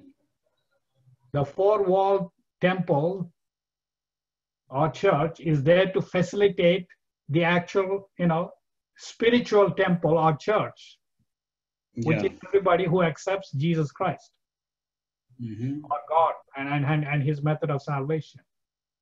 Mm. Number 22, Ephesians 2.22, in whom ye also are builded together for an habitation of God through the Spirit. Mm. So again, the Spirit, God the Father, God the Son, are being very clearly referred to in Ephesians 2. Yeah. And the purpose of that, for God to habit, and if God habits, is to save. Salvation Mm. from sin, from transgressing God's moral law. If there is no moral law, you have immorality. Yeah. That's what's happening. Greed and lying and all that, it's all called immoral. There's a, there's a reason why there's something called moral and immoral. And some something has to be referred to to decide what is moral and immoral. What is right, what is wrong. Mm. If there is no objective way to you know figure out what is right and wrong, then uh, everything is either ri- right or everything is just wrong. Uh, You know, it'll all be like uh, you know like uh, Darwin, what he what he's what he said, which is the survival of the fittest. Yeah. Yeah. So does it uh, make sense? Yeah, yeah. So uh, here Paul is uh, speaking about uh, Christ who made the peace as the only solution for both uh, Jews and Gentiles. And the warfare and the violence, aggression, racism, pride, prejudice, hatred that's going on between uh, uh, Gentiles and Jews. Or many be- people, that they really, everyone is a Gentile. You know, first of all, you should tell them who's a Jew. Mm, But first of all, there is no pure physical Jews. Forget all of that. It's all mixed up. So he's very clearly talking about the enmity between God and man, and and between man, he also, of course. mm. So Christ uh, broke the dividing wall between uh, uh, between the people and made peace, made them all as uh, family of God. And uh, they're all living stones in the temple of God, both Gentiles and Jews, or whatever the people, black or white or uh, anyone. Yeah, no, no artificial difference. God does not look at appearances. Artificial differences of all these. But uh, the Jewish controversies, uh, their superiority, because they have the covenants, they have the law, ceremonial law, the moral law, prophets, and uh, circumcision covenants, the promises of covenants. And without uh, understanding them, without uh, having the inner experience of all those promises, uh, simply by performing some outward, uh, outward uh, uh, observing the outward works of the ceremonial law, the moral law, they felt that they were very superior to the rest of the people in the world. They built a wall around them, the wall of separation. And uh, they were never at peace with uh, anybody else outside of them. They kept all this knowledge to themselves, kept all salvation, knowledge of salvation to themselves, knowledge of Messiah to themselves and uh, felt very superior. And then Paul was so burdened by all that in this uh, chapter, as you have explained step by step, verse by verse. And then uh, he offered himself as a sacrifice. The cross, Christ and his atoning sacrifice broke all those uh, barriers between people and uh, made them as one family with the Father. And they're all at peace with the Father uh, and uh, as family of God, as a temple of uh, God. Yeah. Yeah. So yeah, that, that's what it is. In, in in one sentence or in a brief summary, the whole point of reconciliation is Mm. to be saved from transgressing God's law. Yeah, yeah. Jesus said, again, you have to say that, you know, if we cannot see Jesus, we cannot follow Jesus as in, in a physical way. Uh, the only way we can understand Jesus and God and everything is to follow his instructions. Yeah, yeah. Allow me keep my commandments. And it also says that, you know, many will say God, God, but they have, you know, uh, but they have not followed my will. What is God's will? That we are no longer under the under the um, captivity of transgressing God's law. Hmm. So if we, what is the point of uh, Jesus, uh, you know, paying the price so that we can do what we want? No. If that's the case, then you know, please don't preach to me sin and uh, salvation. We are all saved. I, I accept that He, God, will save me, and then I, I can now do what I want. No, it's the whole Mm. context of that Ephesians two is, you know, salvation, and and and uh, from what to what, and and by who, Hmm. and therefore there is no longer enmity if we accept the blood of jesus christ if we accept jesus there's no longer enmity there should no longer be any division Mhm. or feeling of exclusion or feeling of superiority between any human beings Mhm. we're all the same no longer jew or gentile how many times they should you know we should uh, you know know this or be reminded there's no longer jew or gentile. There is only one group of people which are sinners saved by god's grace. No greek no scythian no barbarian nobody. We are Hmm. all the same in, in in jesus because first of all we're all mixed up when when it comes to races and ethnicities and all that. So you can't even say who's purely what. We are not saved by ethnicity or race or uh, uh, some orthodoxy or tradition that somebody gave and, and that church. No. We are saved through Jesus Christ's blood. if we accept Him Hmm. directly, and the Spirit will dwell in us. And Yeah, yeah. Spirit to dwell, you cannot be engaged in doing wrong. Mhm. Uh, the uh, the greatest uh, misunderstanding of our Sunday pastors uh, on this verse 15 uh, that uh, God abolished uh, in the sacrifice of Jesus on the cross the law of commandments. Uh, so they say that Christ has nullified the law, the Ten Commandment law, and not no, no. I mean, Paul here is referring to the ceremonial law with all its uh, ordinances and the rituals, because they are fulfilled in Christ Jesus. In Christ, uh, when He's offered on the cross, they are fulfilled. So He abolished that law uh, of uh, commandments contained in ordinances. Uh, so that's the one. Without understanding this context, uh, they say simply, God, they, Christ abolished the law of commandments means he abolished the Ten Commandment law. That's what they feel. But uh, when we actually explain to them, as you explained, uh, in this context, in, I mean, in the context of the entire chapter, uh, I think they should be able to clearly understand that uh, Paul is here referring to the ceremonial observances, uh, the observance of the ceremonial laws, the rituals and the sacrifices, uh, circumcision, and all that. Uh, they were using as means of salvation.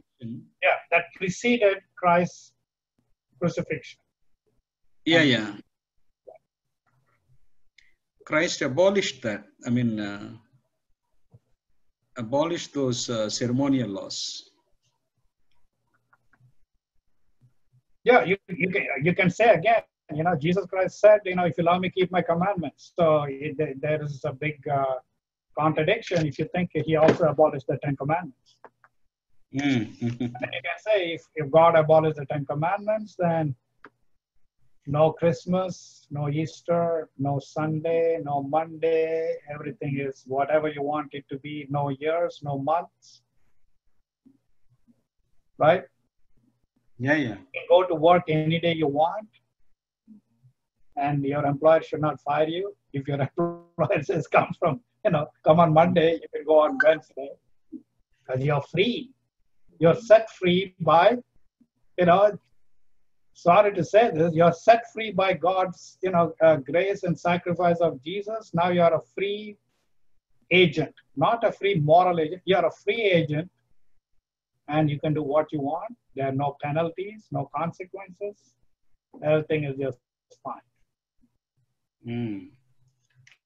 Is that what you're talking about? You can ask them. What, Yeah. what kind of Christianity is that? That doesn't sound like Christianity. It sound it doesn't sound like Christ following.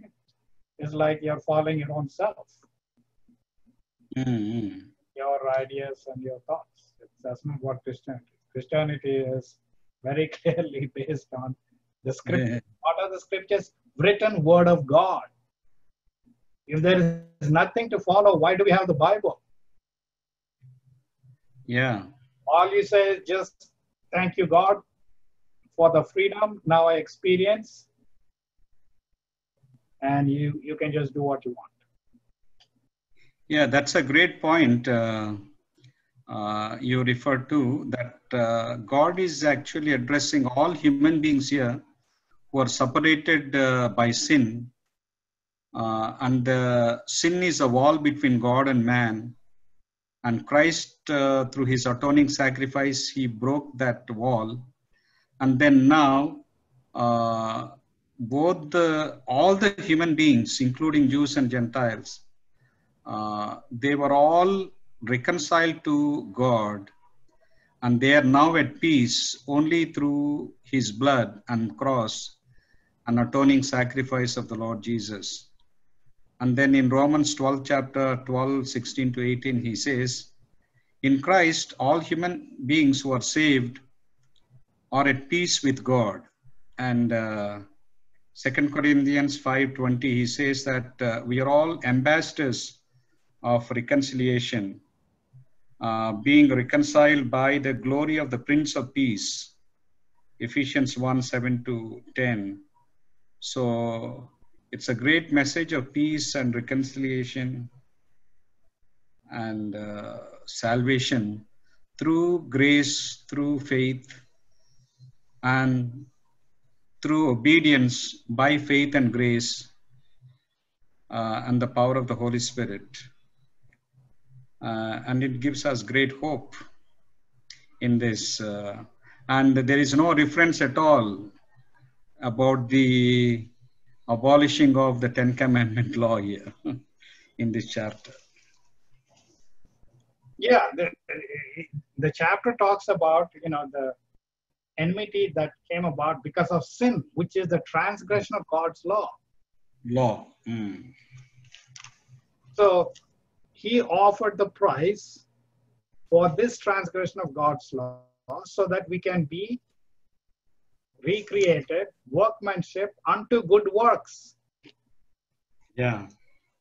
We, we read in Galatians, you know, we are saved and, you know, how can how can the wall of separation be removed as long as there is sin Mm-hmm. transgression of god's law so unless we are in active participation actively mm. not engaged in transgressing god's law that means there has to be a law somewhere Mm-hmm. reference point Yeah. Unless So- that is there they, they will never be peace. What peace is there? There will be only strife and fighting and killing and all these things which is Mm. exactly what the devil wants. So Mm. god's standard is very clear and that standard is known by his scriptures and his scriptures can be summarized as love god and love you know each other and with the ten commandments. No ten commandments all you will have is more uh, lawlessness and confusion. Yeah, yeah. It'll be, Uh, they tell them it'll be uh, like Darwin's theory of evolution. Uh, and I hope you will evolve ultimately, Yeah, yeah. uh, a great human being. So Or don't you think, Yeah. don't you think that through this chapter, uh, God is so powerfully speaking to the modern world, especially in USA and Europe, about this racism and then caste system in, in India uh, and all, the caste uh, system. Uh, God regards this as a crime. It's the greatest crime of uh, making these barriers between human beings and the community groups, like blacks and whites and uh, uh, rich and poor, and uh, east and west, and language and region and all. All these petty, petty barriers that human beings themselves uh, erected, just like the Jewish people in the world uh, they erected uh, a, bar- a wall of separation between them and the Gentiles. And uh, God is so hurt, and uh, Paul was hurt even after preaching of the gospel. Uh, they still have this uh, racism, feeling of superiority, prejudice, hostility, and arrogance, that pride, and all that. So the cross of Jesus and his sacrifice should destroy every aspect of that thoroughly and nothing should be there once we have that uh, uh, can we be the children of god or can we prepare ourselves to be in god's kingdom uh, or be saved in his kingdom at his coming so Yeah, uh, uh, yeah, that is what it's it's all about. You know, the two principles. The, you know, the golden rule: Mm, golden rule. Yeah. treat others like yourself.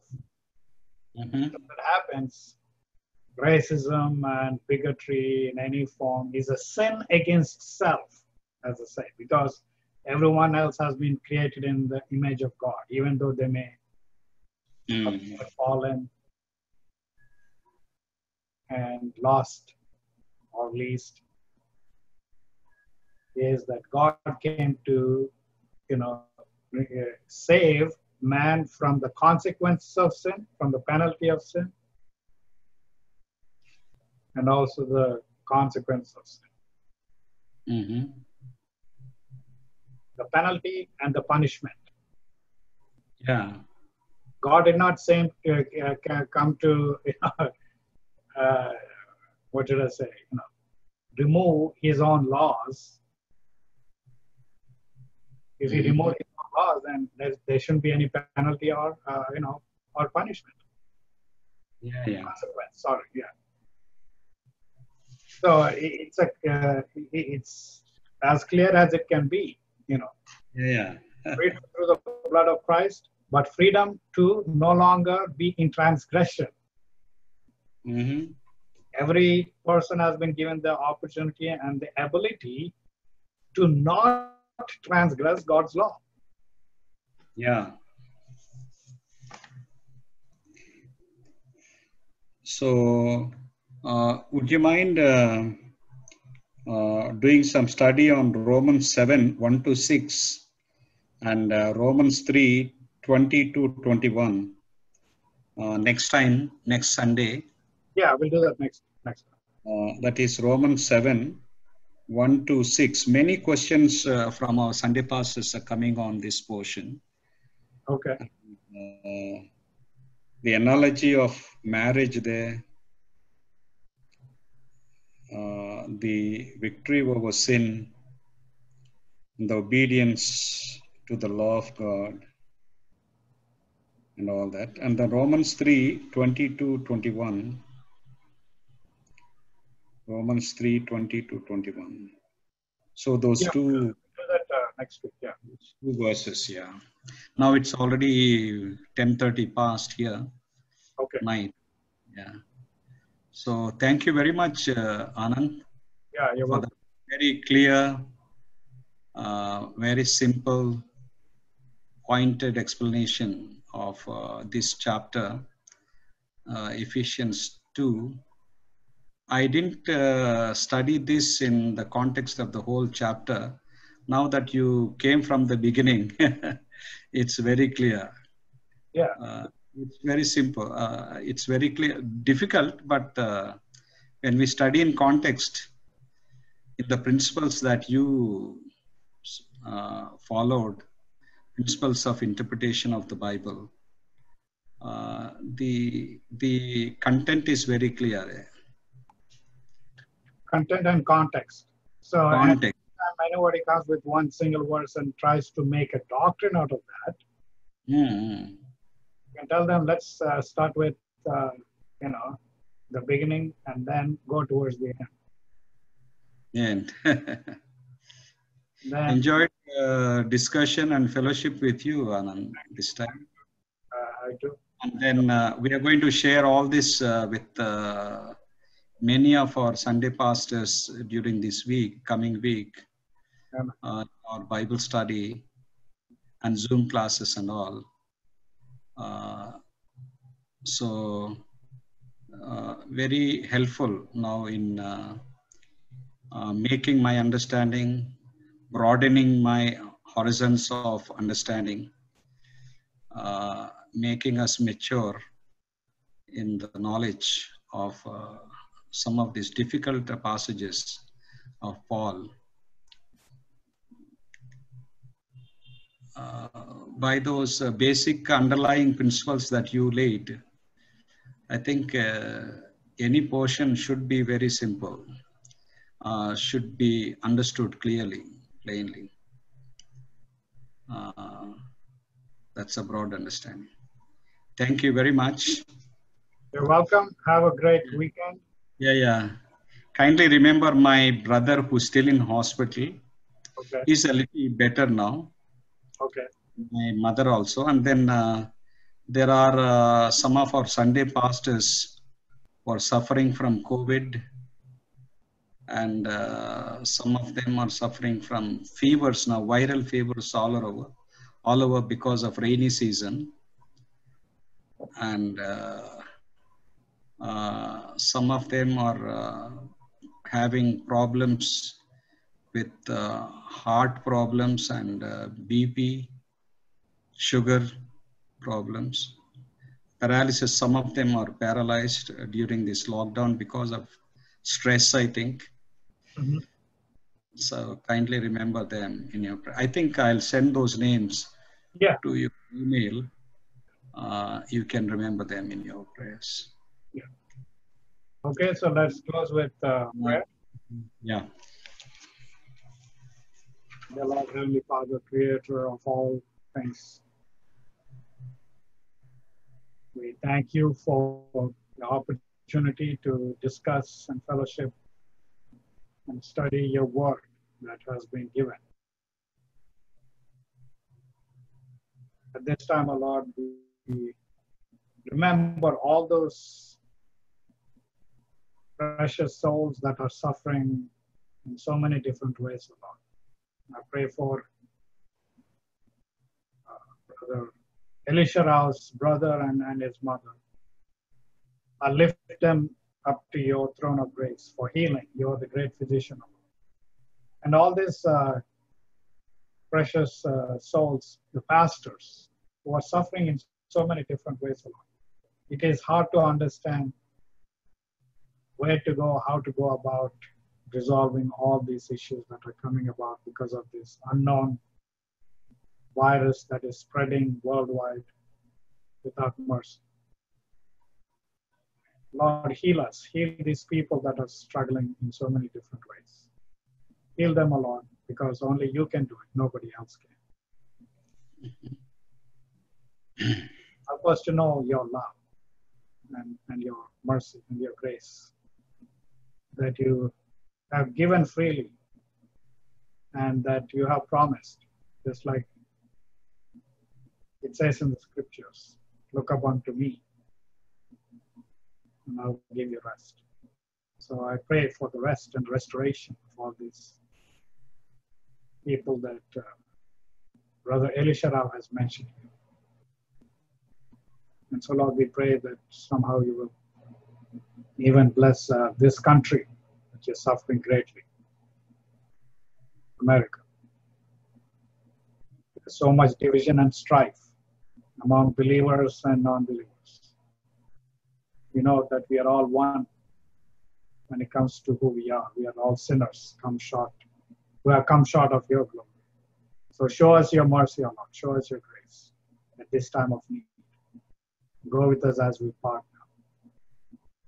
Continue to help us find ways to share your share the faith that has been given so that this work can come to an end and that we can be saved forever to be with you. But I ask all this blessings in Jesus' name. Amen. Amen. Amen. Thank you so much, Anand. Thank you. This is a special time for me, Yes. uh, special time with you. I look forward to this uh, throughout the week. Oh, thank you. it's uh, it's also a help a blessing to me and uh, being able to reflect and study again what we take for granted and so it is a blessing overall you know, so that we can share this this living water right yeah, yeah. okay, Enjoyed your fellowship. Love you. Miss you so much. Thank you we too Okay. Bye. Bye bye. Have a nice day. thank you.